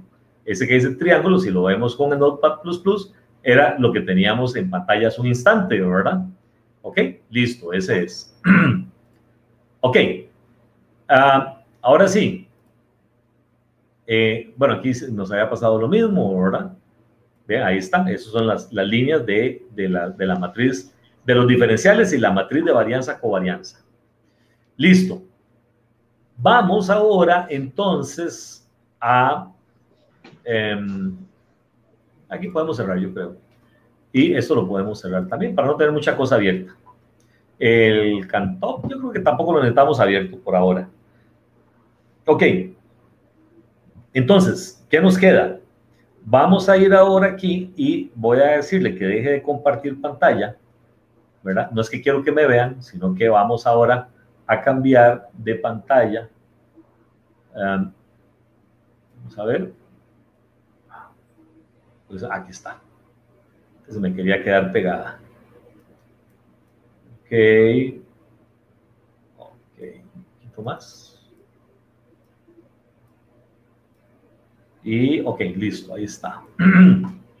Ahora voy a compartir de nuevo pantalla, pero les voy a, compartir mi pantalla 2. Ok, entonces ahora lo que ustedes están viendo es, es esto. Eh, así como paréntesis, nada más antes de empezar a usar el salsa, ¿verdad? Como este, este, esta charla es sobre postproceso, este, nada más es un comercial que les, que les voy a hacer. Eso que ustedes están viendo aquí en esta esquina, en la esquina superior izquierda de mi pantalla 2, es el stream server del RT Calib que está funcionando. Si ustedes ven aquí, ustedes ven que me está agarrando un flujo de datos de, este, de, de, un, de una tarjeta receptora de GNSS y me los está mandando a un servidor entry. Entonces, eh, eso quiere decir que yo estoy en este momento transmitiendo datos a un casting entry. Tal vez en otra, si, si, si Rigoberto me invita, podemos hacer una charla también sobre entry, porque esto es muy útil, es súper práctico. Y es muy fácil de montar. Vean, voy, voy a dejar de, de, compartir pantalla para, para ver si, si, vamos a ver, si, espero que me llegue el cable USB. Sí, aquí está. Vean, es con esta cosita que tengo aquí, ahí está. Este, yo estoy transmitiendo, ahí está, vamos a ver un poquito más, un poquito más, que no se ve, ahí está. Vean, aunque sea un pedacito, se ve. Con eso yo estoy transmitiendo correcciones RTCM a un casting y entonces está funcionando como una estación de referencia este, entry, ¿verdad? Eso ahí lo vamos a ver después. Este, como les digo, bueno, así brevemente, brevemente quiero enseñarles, uh, bueno, tal vez con, con el Chrome, porque el, el Edge lo tengo ocupado ahorita en esto. Este, vean, aquí está el Chrome y si yo le pongo RTK to go, este, ajá, punto com, y le digo que me enseñe lo que tiene ese, ese servidor en el puerto 2101, entonces lo que me va a tirar es, que la tabla no funciona, no la quiso cargar, vamos de nuevo, ahí está, esa es la tabla del caster con todos los puntos de montaje que hay en este momento en, en, en, en, este caster. Si ustedes ven aquí en esta línea que les estoy marcando, esta es mi estación de referencia. Se llama Topcanto. Y si quiero verla en, en, una tabla un poquito más entendible, este, podemos verla aquí con este decoder. Este, y ahorita Vamos a ver, ¿lo quieren? A veces cuesta que entre. Puede que esté muy, muy utilizado el servidor. Entonces cuesta que lo, que lo, que lo reconozca. Pero vamos a darle aquí parar. Vamos a decirle que vuelva a cargar otra vez la página. Y como que no, no, no, no está entrando. Bueno, ver que esté muy saturado el servidor. Pero con, con, este decodificador de tabla me sale una tablita muy bonita y también lo puedo ver en un mapa mundial, en un mapa mundi. Puedo ver todas las estaciones y en su ubicación. Si ustedes ven aquí hay estaciones en Japón, en Estados Unidos, en Australia, ese está en Austria, ese está en Rusia, ese está en Ucrania. Y sí, me, dio, me dio problemillas. Vamos a ver si tal vez con reload. Eh,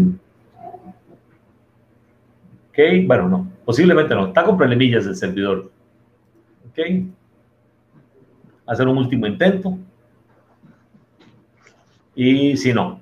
Bueno, pero sí, puedo ver todo eso una tabla más entendible y también puedo ver este, una, eh, un mapa mundi con todas las estaciones, con, con, todos los mount points que están transmitiendo en este momento ahí ese caster. Entonces, si yo me voy con un rover, si yo me voy con un rover en este momento y lo pongo a trabajar en Entry, que esos equipos Emily todos lo trabajan directamente en, en, en Entry, trabajan muy bien en Entry, pues ya todo lo tienen programado.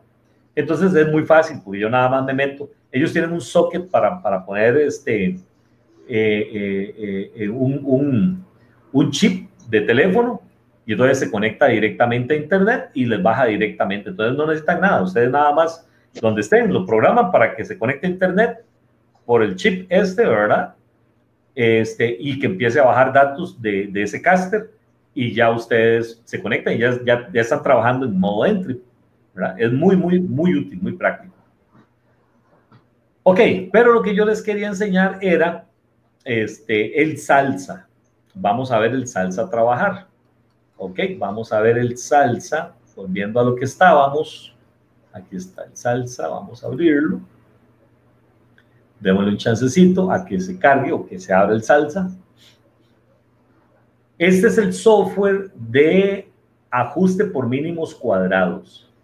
Este salsa me lo encontré de casualidad un día que un, compañero, un colega, este, hizo un webinar sobre un software eh, de, de, ajuste por mínimos cuadrados de una marca específica que tampoco voy a decir. Este, y eh, eh, resulta que ese software lo hacía, pero el software costaba como 3.500 dólares. Entonces yo dije, bueno, pero es que alguien tiene que haber hecho algo para ajuste por mínimos cuadrados que nos pueda servir a los topógrafos de, de, de, o sea, los que somos normales, seres humanos normales, ¿verdad? Y que, que no podemos comprar software de 3 mil, 4 mil dólares, este, tiene que haber algo. Entonces me puse a investigar y me encontré con que la Universidad de Texas en Austin este, eh, desarrollaron este software, ¿verdad? Y él está genial, es una maravilla, ¿verdad? Entonces vamos a ver cómo funciona. Aquí ya lo tenemos abierto, lo tenemos en pantalla. ¿Qué, ¿Qué, es lo que tenemos que hacer? Bueno, primero, iniciar un proyecto, un nuevo proyecto, y le vamos a poner por nombre, este, no sé, vamos a poner por nombre TCA. ¿Vale guardar? Ok, ya está listo el proyecto, el proyecto TCA. Ahora le voy a decir que quiero que me importe mi punto de control o los puntos de control, porque pueden ser varios. En un proyecto puede haber dos, tres, cuatro, cinco puntos de control. Eso depende de ustedes, como ustedes quieran trabajar su proyecto, ¿verdad? Pero luego, ¿qué importe desde un archivo salsa? Vamos a ver, estamos aquí en Ready, ahí está, el punto de control, y lo voy a dar a abrir, y entonces vean que aquí tengo una, un, una, un dato de posición, es el punto RIDC, y esas son las coordenadas SEF de ese punto.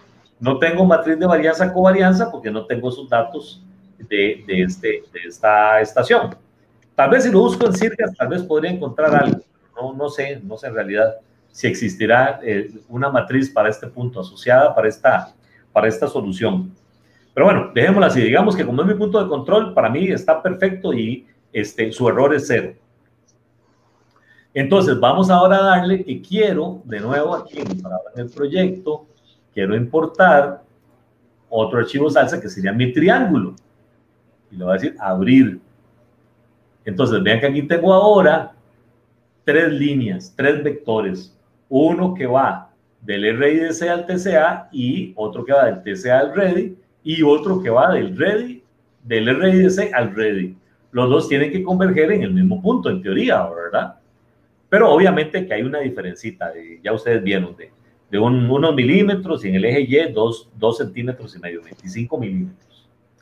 Ok, pero aquí tengo ya todos los datos para poder solucionar. Entonces, vamos a pedirle que me calcule las coordenadas iniciales. Digo, le doy clic aquí, que me va a guardar todos los archivos, le digo que sí, que los guarde, y listo, ahí está. Entonces, vean, aquí tenía mi punto LRIDC, ¿verdad? Que es el, de, el, el del Instituto Geográfico Nacional, en un, en un sector de la capital que se llama Zapote, ¿verdad? Así como la fruta del zapote, así se llama. Y, este, y entonces generé este triángulo que viene del RDC al, T, al TCA y del TCA al REDI. Esa es, la, esa es la primera ruta que hice hasta llegar aquí. Y la segunda ruta que hice fue directo de aquí para acá. Entonces vean que me cierra en un triángulo, ¿verdad? Pero el triángulo todavía no está ajustado. Ahorita lo vamos a ajustar. Lo importante es que ustedes vean gráficamente qué es lo que está pasando. ¿verdad? Si, si yo le marco aquí afuera, entonces me, me, me, desmarca todo y ya no me queda ninguna línea en, en, amarillo. Pero tengo el triangulito dibujado. Ahora lo que me falta nada más es ajustarlo. Entonces le doy aquí donde dice proyecto y le digo aquí donde dice calcule el ajuste o le doy solamente F5. ¿Está calculando?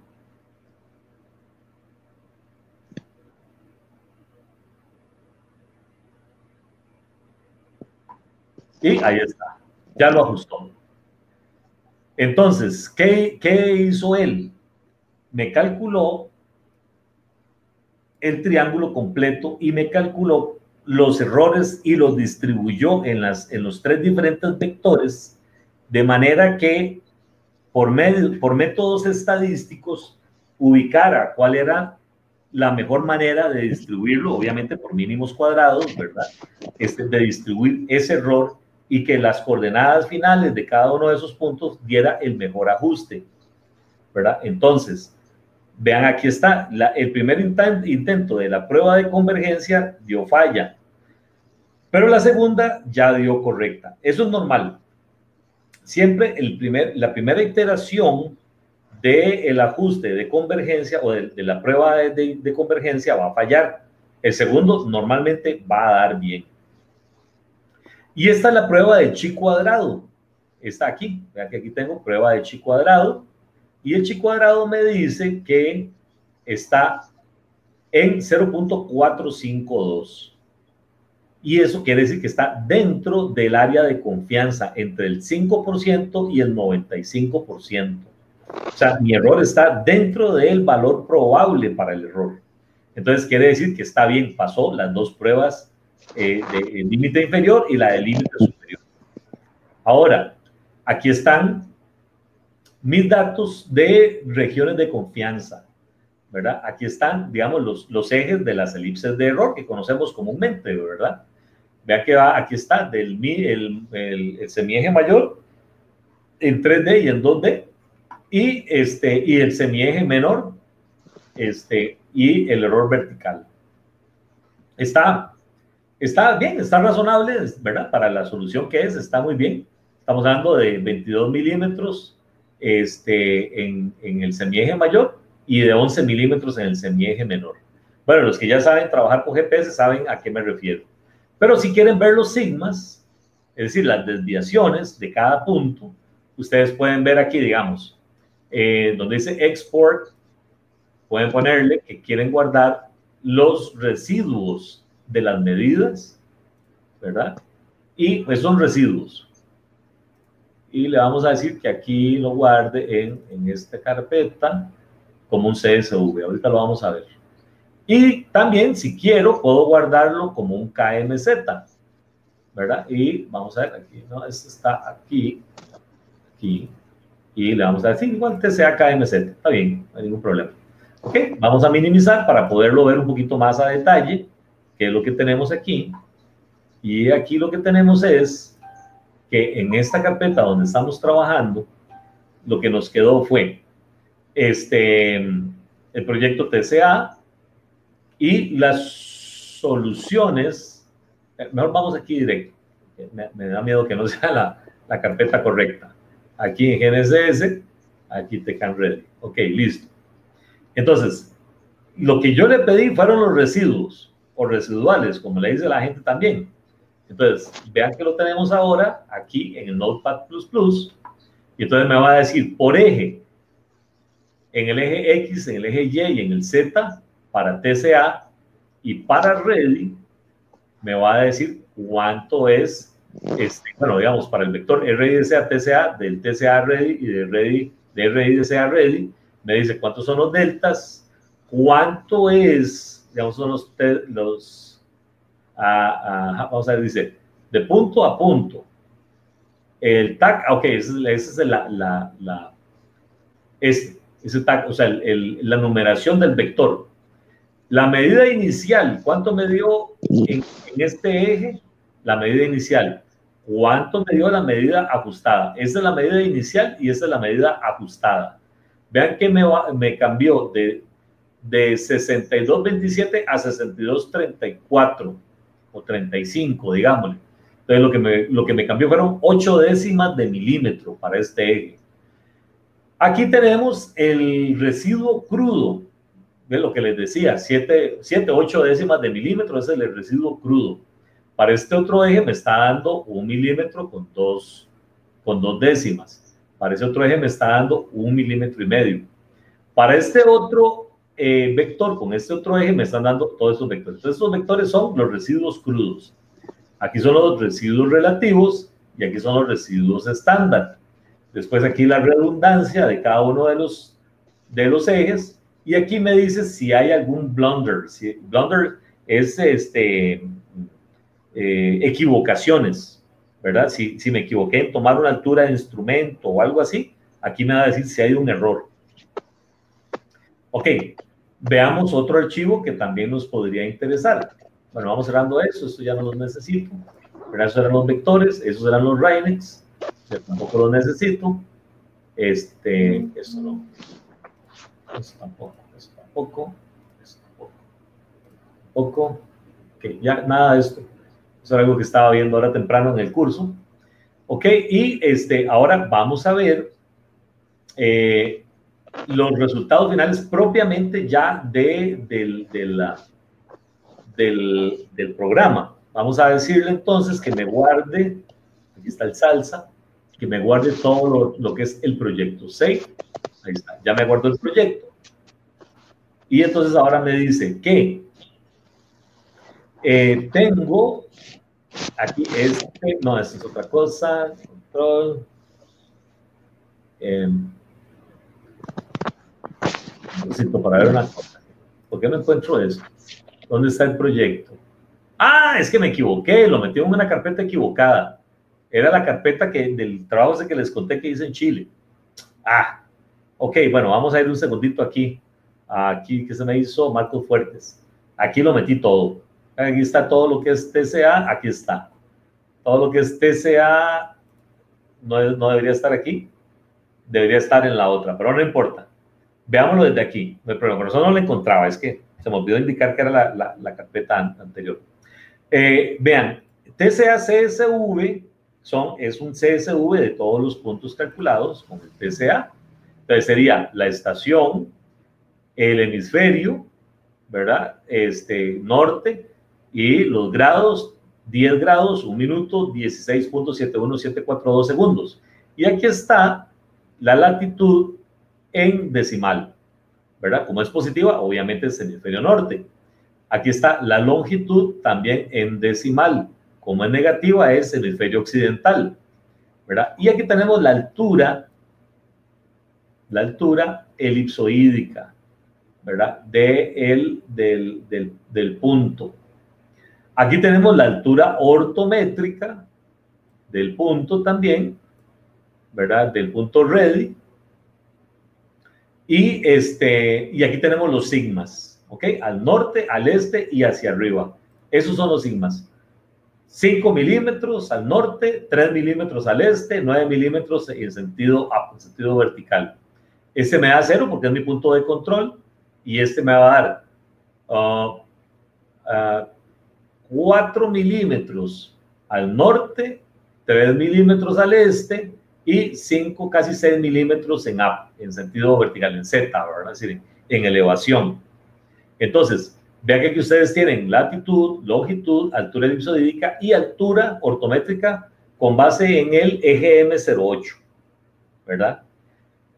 Eh, ahora, vamos a ver otro archivo que también se nos generó, que sería el TCA out, que sería la salida de, todo lo que hicimos, ¿verdad? Todo lo que hicimos sale aquí, todos los, los análisis que hizo de cada uno de los vectores, coordenadas de salida, coordenadas de llegada, todos los, ajustes, todo sale aquí. Ahí todo lo que hicimos aparece aquí. Y al final me salen las coordenadas ajustadas o posiciones ajustadas en coordenadas cartesianas o en, en LLH, ¿verdad? y eh, también con sus sigmas, ahí sale todo. Y yo creo que en otra me sale también, ah, bueno, aquí está la, la, matriz de varianza y covarianza, ¿verdad? Los ajustes por eje, etcétera. De ahí ustedes, si ustedes quieren, entonces pueden, con el cantor, ustedes pueden modificar lo, lo, que está aquí, ¿verdad? Vean que, por ejemplo, en el caso del TCA, teníamos estas coordenadas, pero las coordenadas ajustadas para el caso del TCA, que serían estas de aquí, se las podemos meter. Y entonces nos dice que ya no es 98.39, ahora es 98.31. Vea que aquí lo que varió fueron 8 décimas de milímetro. Ok, en Z me dice que son 66.91 y tengo 67.04. Entonces tengo 66.91 esa es mi nueva coordenada en Z, en Y, perdón. Y la coordenada en Z va a ser eh, 8592. 8592. Digo, ok. Pero digo, eh, datos actualizar. Entonces ya me actualizó la base de datos con esos datos que le metí ya corregidos, ¿verdad? Ok, vamos al punto que sigue, que sería el ready, y el ready está aquí.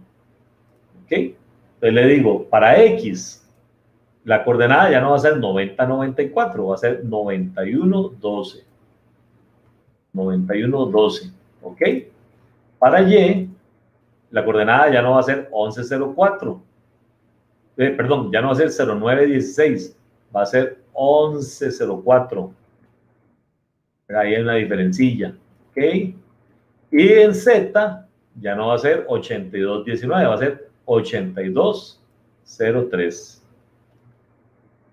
¿Ok? Listo, ya me lo guardó, le voy a dar datos actualizar. Punto actualizado, listo. Ok, listo, entonces ya vean que ya las coordenadas ajustadas por el salsa ya las metí en el, en el cantop, ya las tengo aquí. Entonces, eh, vean, si ustedes se van a este archivo que está aquí, vamos a ver, sería el eh, TCA, TCA Points. Creo que era este, vamos a ver. Le voy a decir aquí o abrir Notepad++. a latitud, longitud, altura. No, este no es. Este ya lo teníamos en el anterior. Eh, vamos a ver cuál podría ser. se me olvidó cuál era. Eh,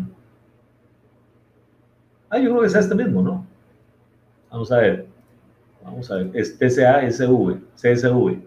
Eh, latitud, longitud, en grados y no, esta no es. Es que lo que quiero es un archivo, un archivo que se llama, eh, ¿será este? ¿No? Vamos a ver.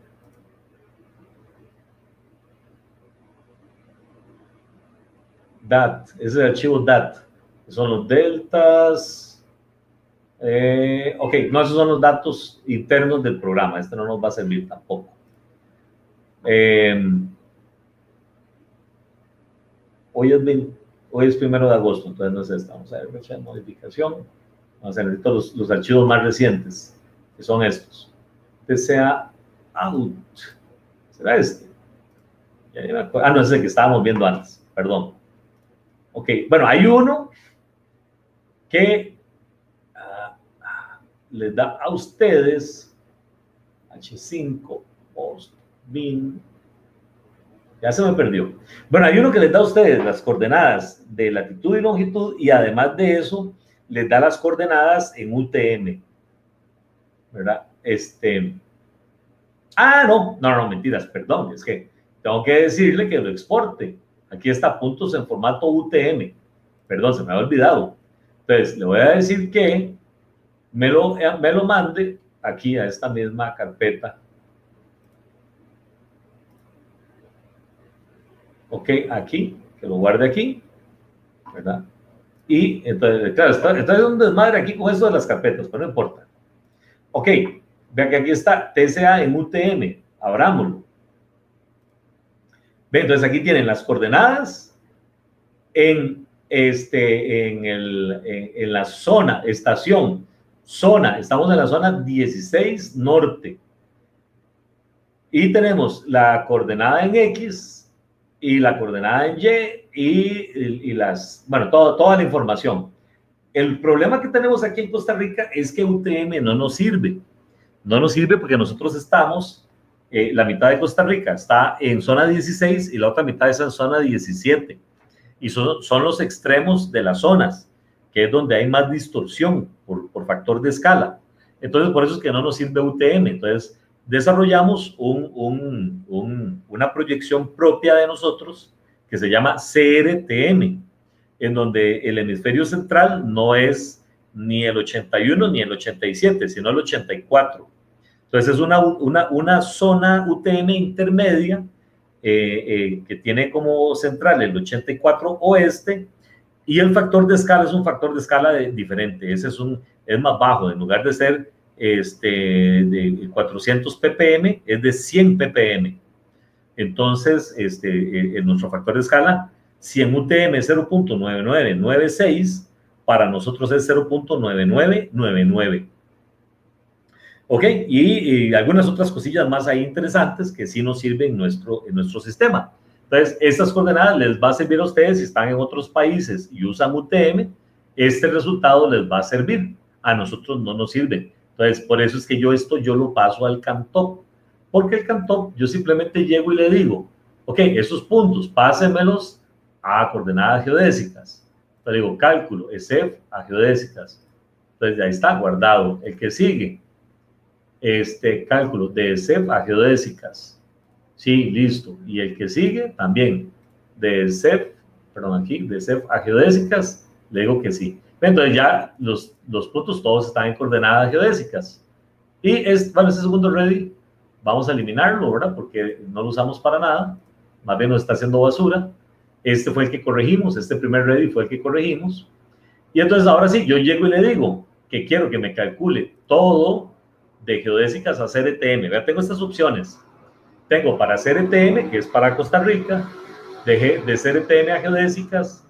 Aquí tenemos con nuestro sistema antiguo que estaba basado en un, en un datum que usábamos aquí en todo Centroamérica, que era el datum Ocotepeque antiguamente, ya no se usa, para transformar de CR05 a Ocotepeque y de Lambert Norte a Ocotepeque, etcétera, etcétera. Y aquí también tengo para UTM, de geodésicas a UTM, pero obviamente que a mí, en lo personal, a mí no me va a servir. Y tengo también para la de geodésicas a el, el sistema Gauss-Kruger de Argentina. ¿verdad? Ya lo tengo aquí programado. Puedo pasar de, de geodésicas a Gauss-Kruger Argentina y de, de Gauss-Kruger Argentina a geodésicas. Pero bueno, en este caso vamos a pasarlo a CRTM05, que es la proyección de aquí de nosotros. Digo que todo me lo pase a CRTM05. Digo todo. Continúa. Sí. Y ahí está. Ya todos mis puntos están en la proyección local, en nuestra proyección CRTM05. Y ahí está. Eso es así de fácil. Ok. Y mientras tanto, ¿verdad? Aquí teníamos este, las coordenadas en UTM, tenemos todos los datos que, que tenemos de la transformación, de, de la, del ajuste, perdón, y todo eso nos sirve de respaldo para cualquier eh, información que podamos necesitar en un futuro, ¿verdad? Entonces, ok, esos son los, digamos, las salidas principales del salsa. Vean, el salsa ustedes lo pueden descargar de forma gratuita de la página de el, uh, vamos aquí, Help About Salsa, Aquí está, en esta dirección. Eh, vamos a ver si tengo cómo pasárselas como un texto.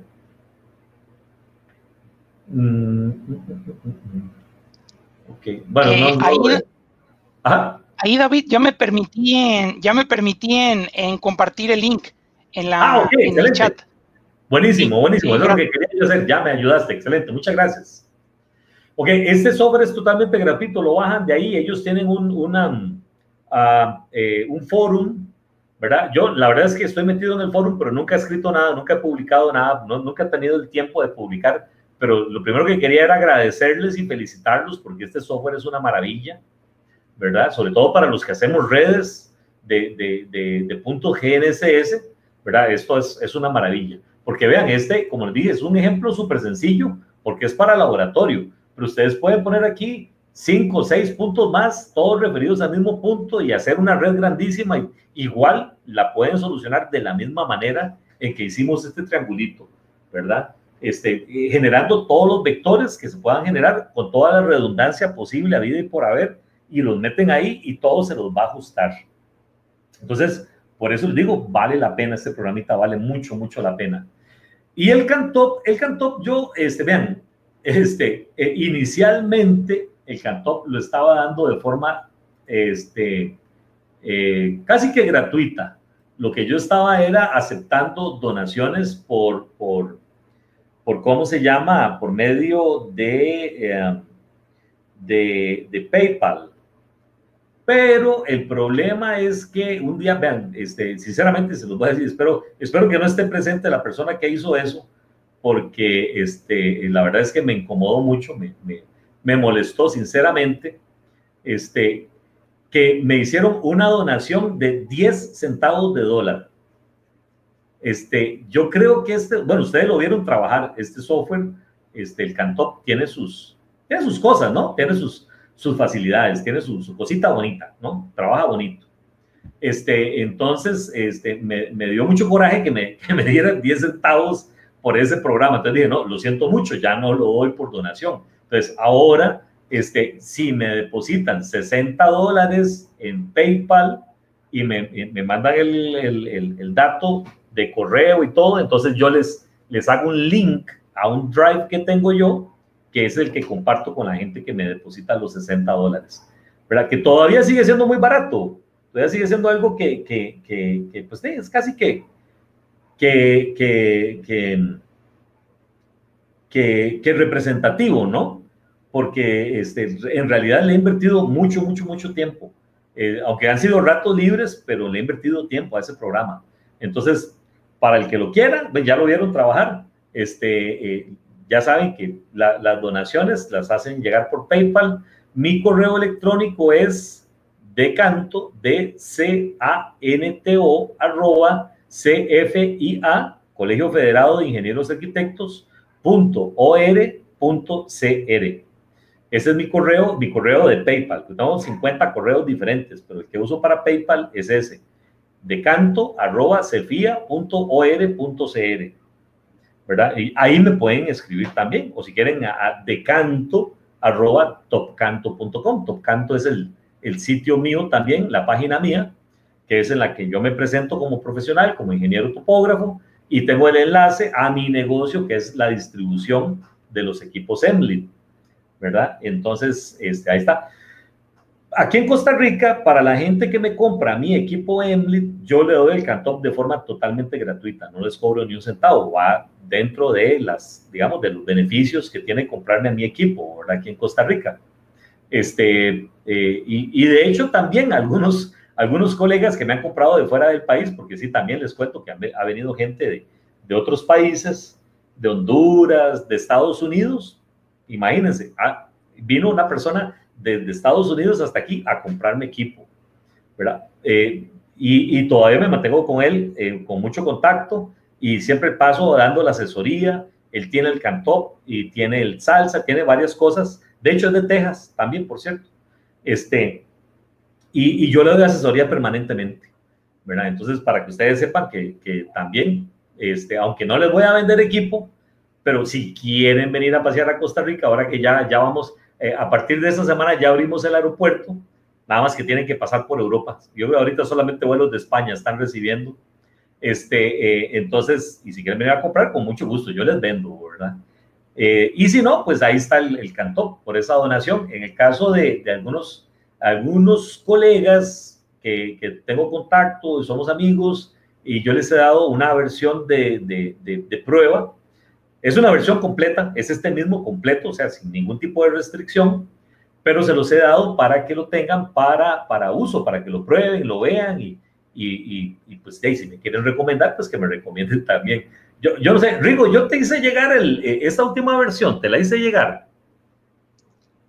Eh, no, David, la última versión no, no la tengo. Cuento con la, la primera versión que me hiciste favor de, de enviármela, de compartirla. Eh, es con la que cuento. Ok, perfecto, perfecto. Yo te había compartido la carpeta del curso de GNSS o, o cuál carpeta te compartí. Sí, efectivamente, la que tengo es la del curso de GNSS, ahí ah, donde okay, me okay. apoyaste con, con información. Correcto, entonces esta ya la puedes bajar. Esta ya la puedes bajar porque está en esa misma carpeta. ¿verdad? Lo que pasa es que eh, eh, también a los que son alumnos del curso que yo doy aquí en el colegio, también les doy el Cantop para que lo usen.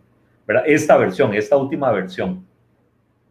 Este, entonces, eh, tanto para mis alumnos como para mis clientes está disponible de forma gratuita. Y para el caso tuyo, para el caso de un colega de Argentina que hemos hecho muy buena amistad, que, que, fue el que me propuso la idea de meter la, proyección Gauss-Kruger de Argentina. ¿verdad? Él me propuso la idea y me pareció muy bien, excelente, se la metí y ahí está funcionando, está funcionando bastante, bastante bien, ¿verdad? Y este, lo único que no tengo, este, y, es porque cada uno de ustedes lo tiene que hacer manualmente, es el modelo geoidal. En este momento, el modelo geoidal que va con el CANTOP es el de Costa Rica, ¿verdad? Pero este, en el momento que ustedes compran el, el CANTOP eh, o dan la donación de 60 dólares, porque en realidad ese no es el precio, este, yo se los mando y les digo cómo cargar el geoide para su país a partir del eje M08, ¿verdad? En el caso de México, como es tan grande, lo lógico es que, pues sí, este, bajes el geoide para la zona donde estás, donde estás trabajando, ¿verdad? Eh, aunque también estoy pensando en, meterle de nuevo a, como dice con la versión que tiene Rigo también, es meterle el, el, GG10, ¿verdad? Que es el geoide oficial para México. Este, eh, vamos, vamos a ver si se lo meto. ¿Verdad? No puedo sacar el dato para meterle ese específicamente. Pero digamos, ustedes sacan un extracto del EGM08, ¿verdad? Ustedes dicen, ok, no, yo voy a trabajar entre estas coordenadas y estas coordenadas, se lo meten al, al EGM08, sacan el extracto y simplemente lo jalan con el cantop y ya listo, eso es todo. Es sumamente fácil cargar un geoide, ¿verdad? Y es el mismo, el mismo formato que le genera el, el EGM08, ¿verdad? Ok, muy bien, entonces, este, eh, básicamente eso es, eso es lo que quería enseñarles. Lo, lo, importante en todo esto es que ya ustedes no tienen que preocuparse, eh, por, por, poner un ejemplo, eh, y no es, y no es por, por, echarle tierra a la gente de Topcom, pero, por ejemplo, una licencia del Magnet Tools, que es el que sirve para hacer este mismo trabajo de postproceso, claro, muy automatizado, muy bonito, muy fácil de utilizar, pero esa licencia vale 2.500 dólares. Este, el, el, el, TBC, no sé cuánto estará costando, pero tiene que andar costando por ahí. El Infinity, que es el de Leica, yo creo que está más caro todavía que eso. No he preguntado precios porque no, no, de, no, no quiero que me digan que estoy haciendo espionaje industrial, ¿verdad? Pero sí es bastante caro, sí es bastante caro. Entonces, este, pues es una, una opción de 60 dólares contra 3.000, 2.500, 3.500 dólares, ¿verdad? Este, eh, y, y, como ustedes ven, pueden generar todos los vectores que quieran. Es muy manual, eso sí. Eh, eh, ustedes tienen que estar muy bien concentrados para no perderse, pero, pero ustedes pueden solucionar lo que ustedes quieran, ¿verdad? Trabaja bastante, bastante bien. Y bueno, yo creo que por mi parte es todo. Este, no sé si tienes algo más que comentar, Rigo. No, David, pues muchísimas gracias. Vamos a ahorita justamente abrir la, la sesión para preguntas y respuestas, pero principalmente agradecerte de antemano, porque sí, la verdad, este, yo soy usuario del, del Cantop desde que me, me apoyaste con, con, esa, con esa información y también justamente me apoyaste en poder cargar el, el GGM10, el GGM10 que ya el, el Cantop lo, lo utiliza y pues todo fue también a, detalle por el mismo aprovechamiento de estas herramientas económicas como lo platicábamos en un principio, eh, pues para que nos sirvan de apoyo para los jóvenes, ¿no? Nuestros futuros colegas. Entonces, pues agradecido mucho, David. Vamos a abrir la, la sesión de preguntas y respuestas. No sé si o haya algún comentario por parte de, de los colegas. Estamos ahorita para poder atender algún comentario. Por aquí la, aplicación tiene una función de, levantar la mano para, para poder participar, sino de igual manera, pues comentarles también que, que la charla está siendo transmitida y a su vez grabada por el canal de YouTube. Ahí les estuvimos poniendo lo, lo que fue el, el, link para en su posterior eh, visualización. Eh, yo en lo principal también, David, comentarte sobre el programa este Salsa. La verdad se ve muchísima información. Ahorita en cuanto tú lo mencionaste, me puse a, a googlearlo, encontré ya el link de descarga, justamente ya lo, descargué.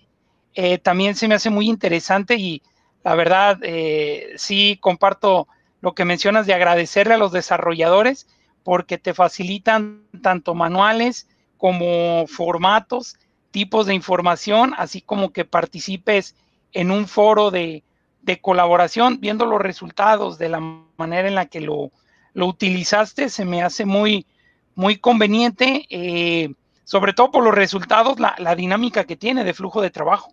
Sí, sí, sí, muy bueno, muy, muy bueno.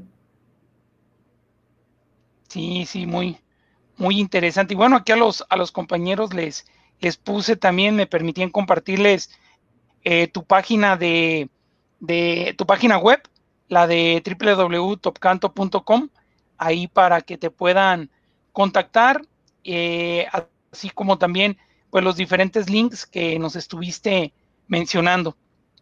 Y bueno, David, al parecer creo que, que tu charla, la verdad, muy clara, muy efectiva, eh, con muchísimos ejemplos que, que, valió mucho la pena, aquí puros comentarios de, de agradecimiento.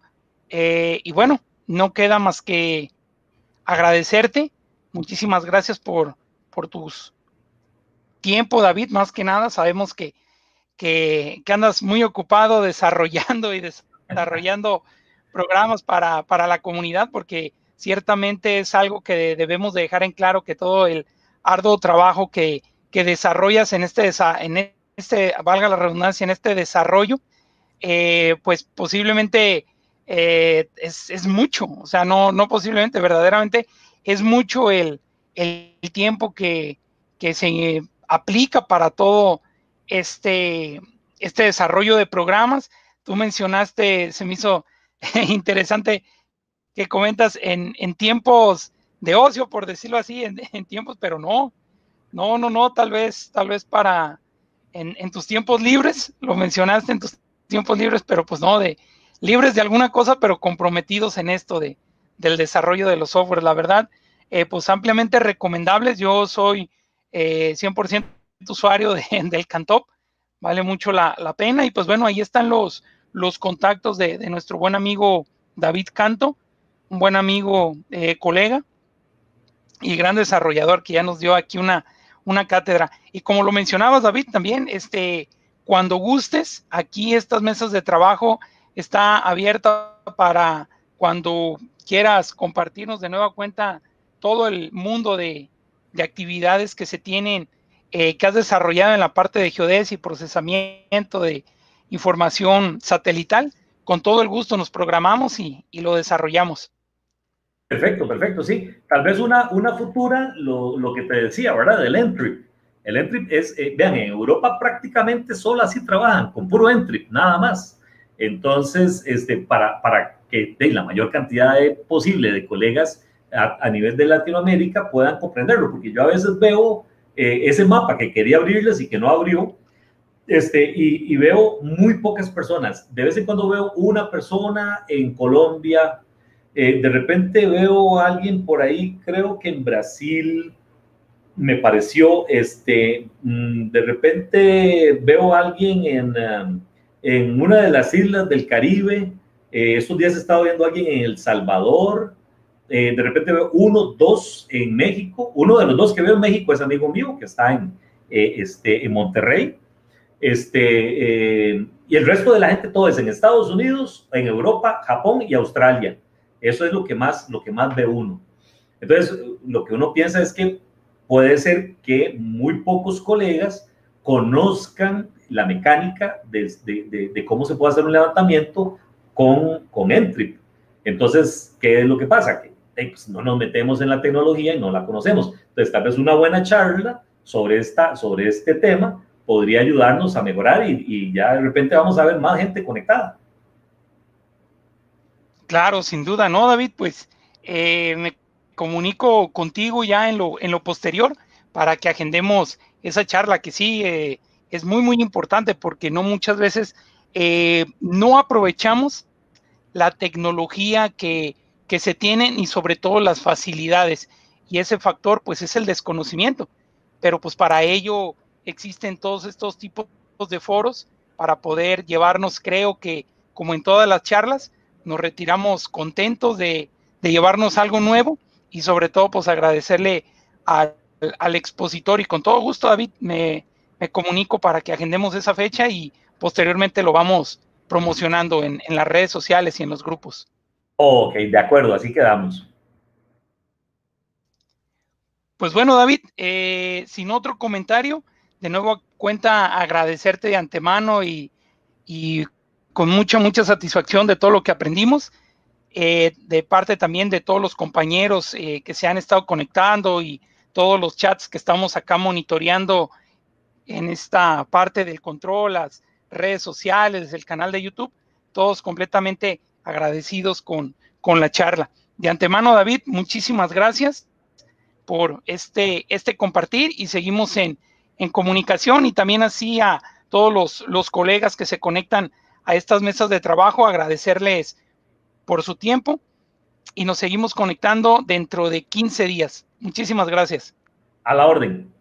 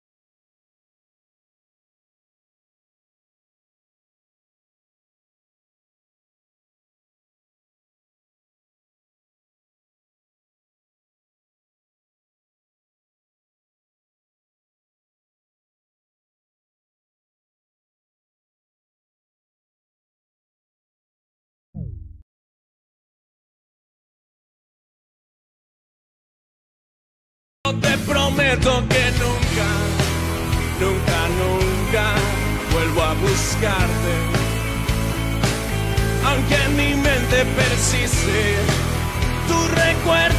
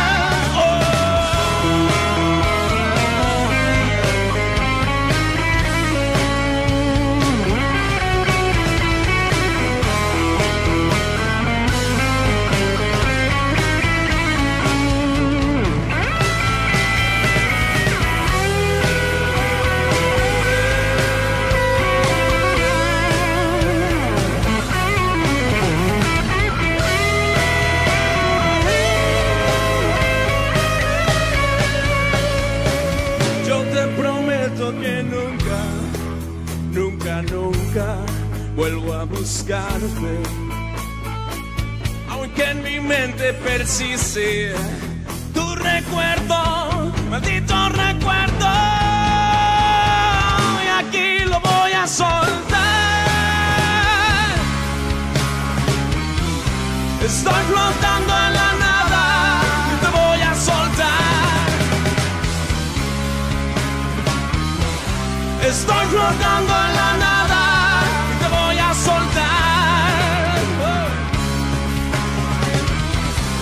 Estoy flotando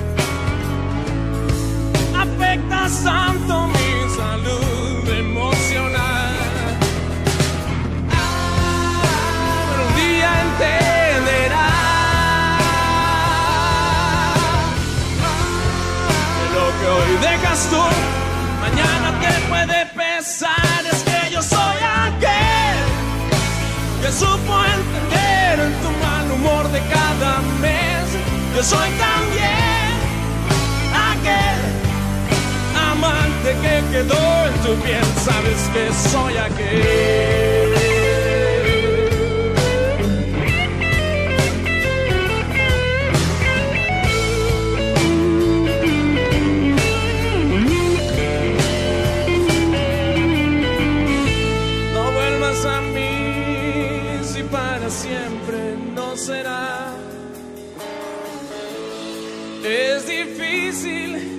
Despedidas soportar. No vuelvas a mí, tarde o temprano te irás. Y los hombres bien sabemos extrañar. Un día entenderás que lo que hoy dejas tú,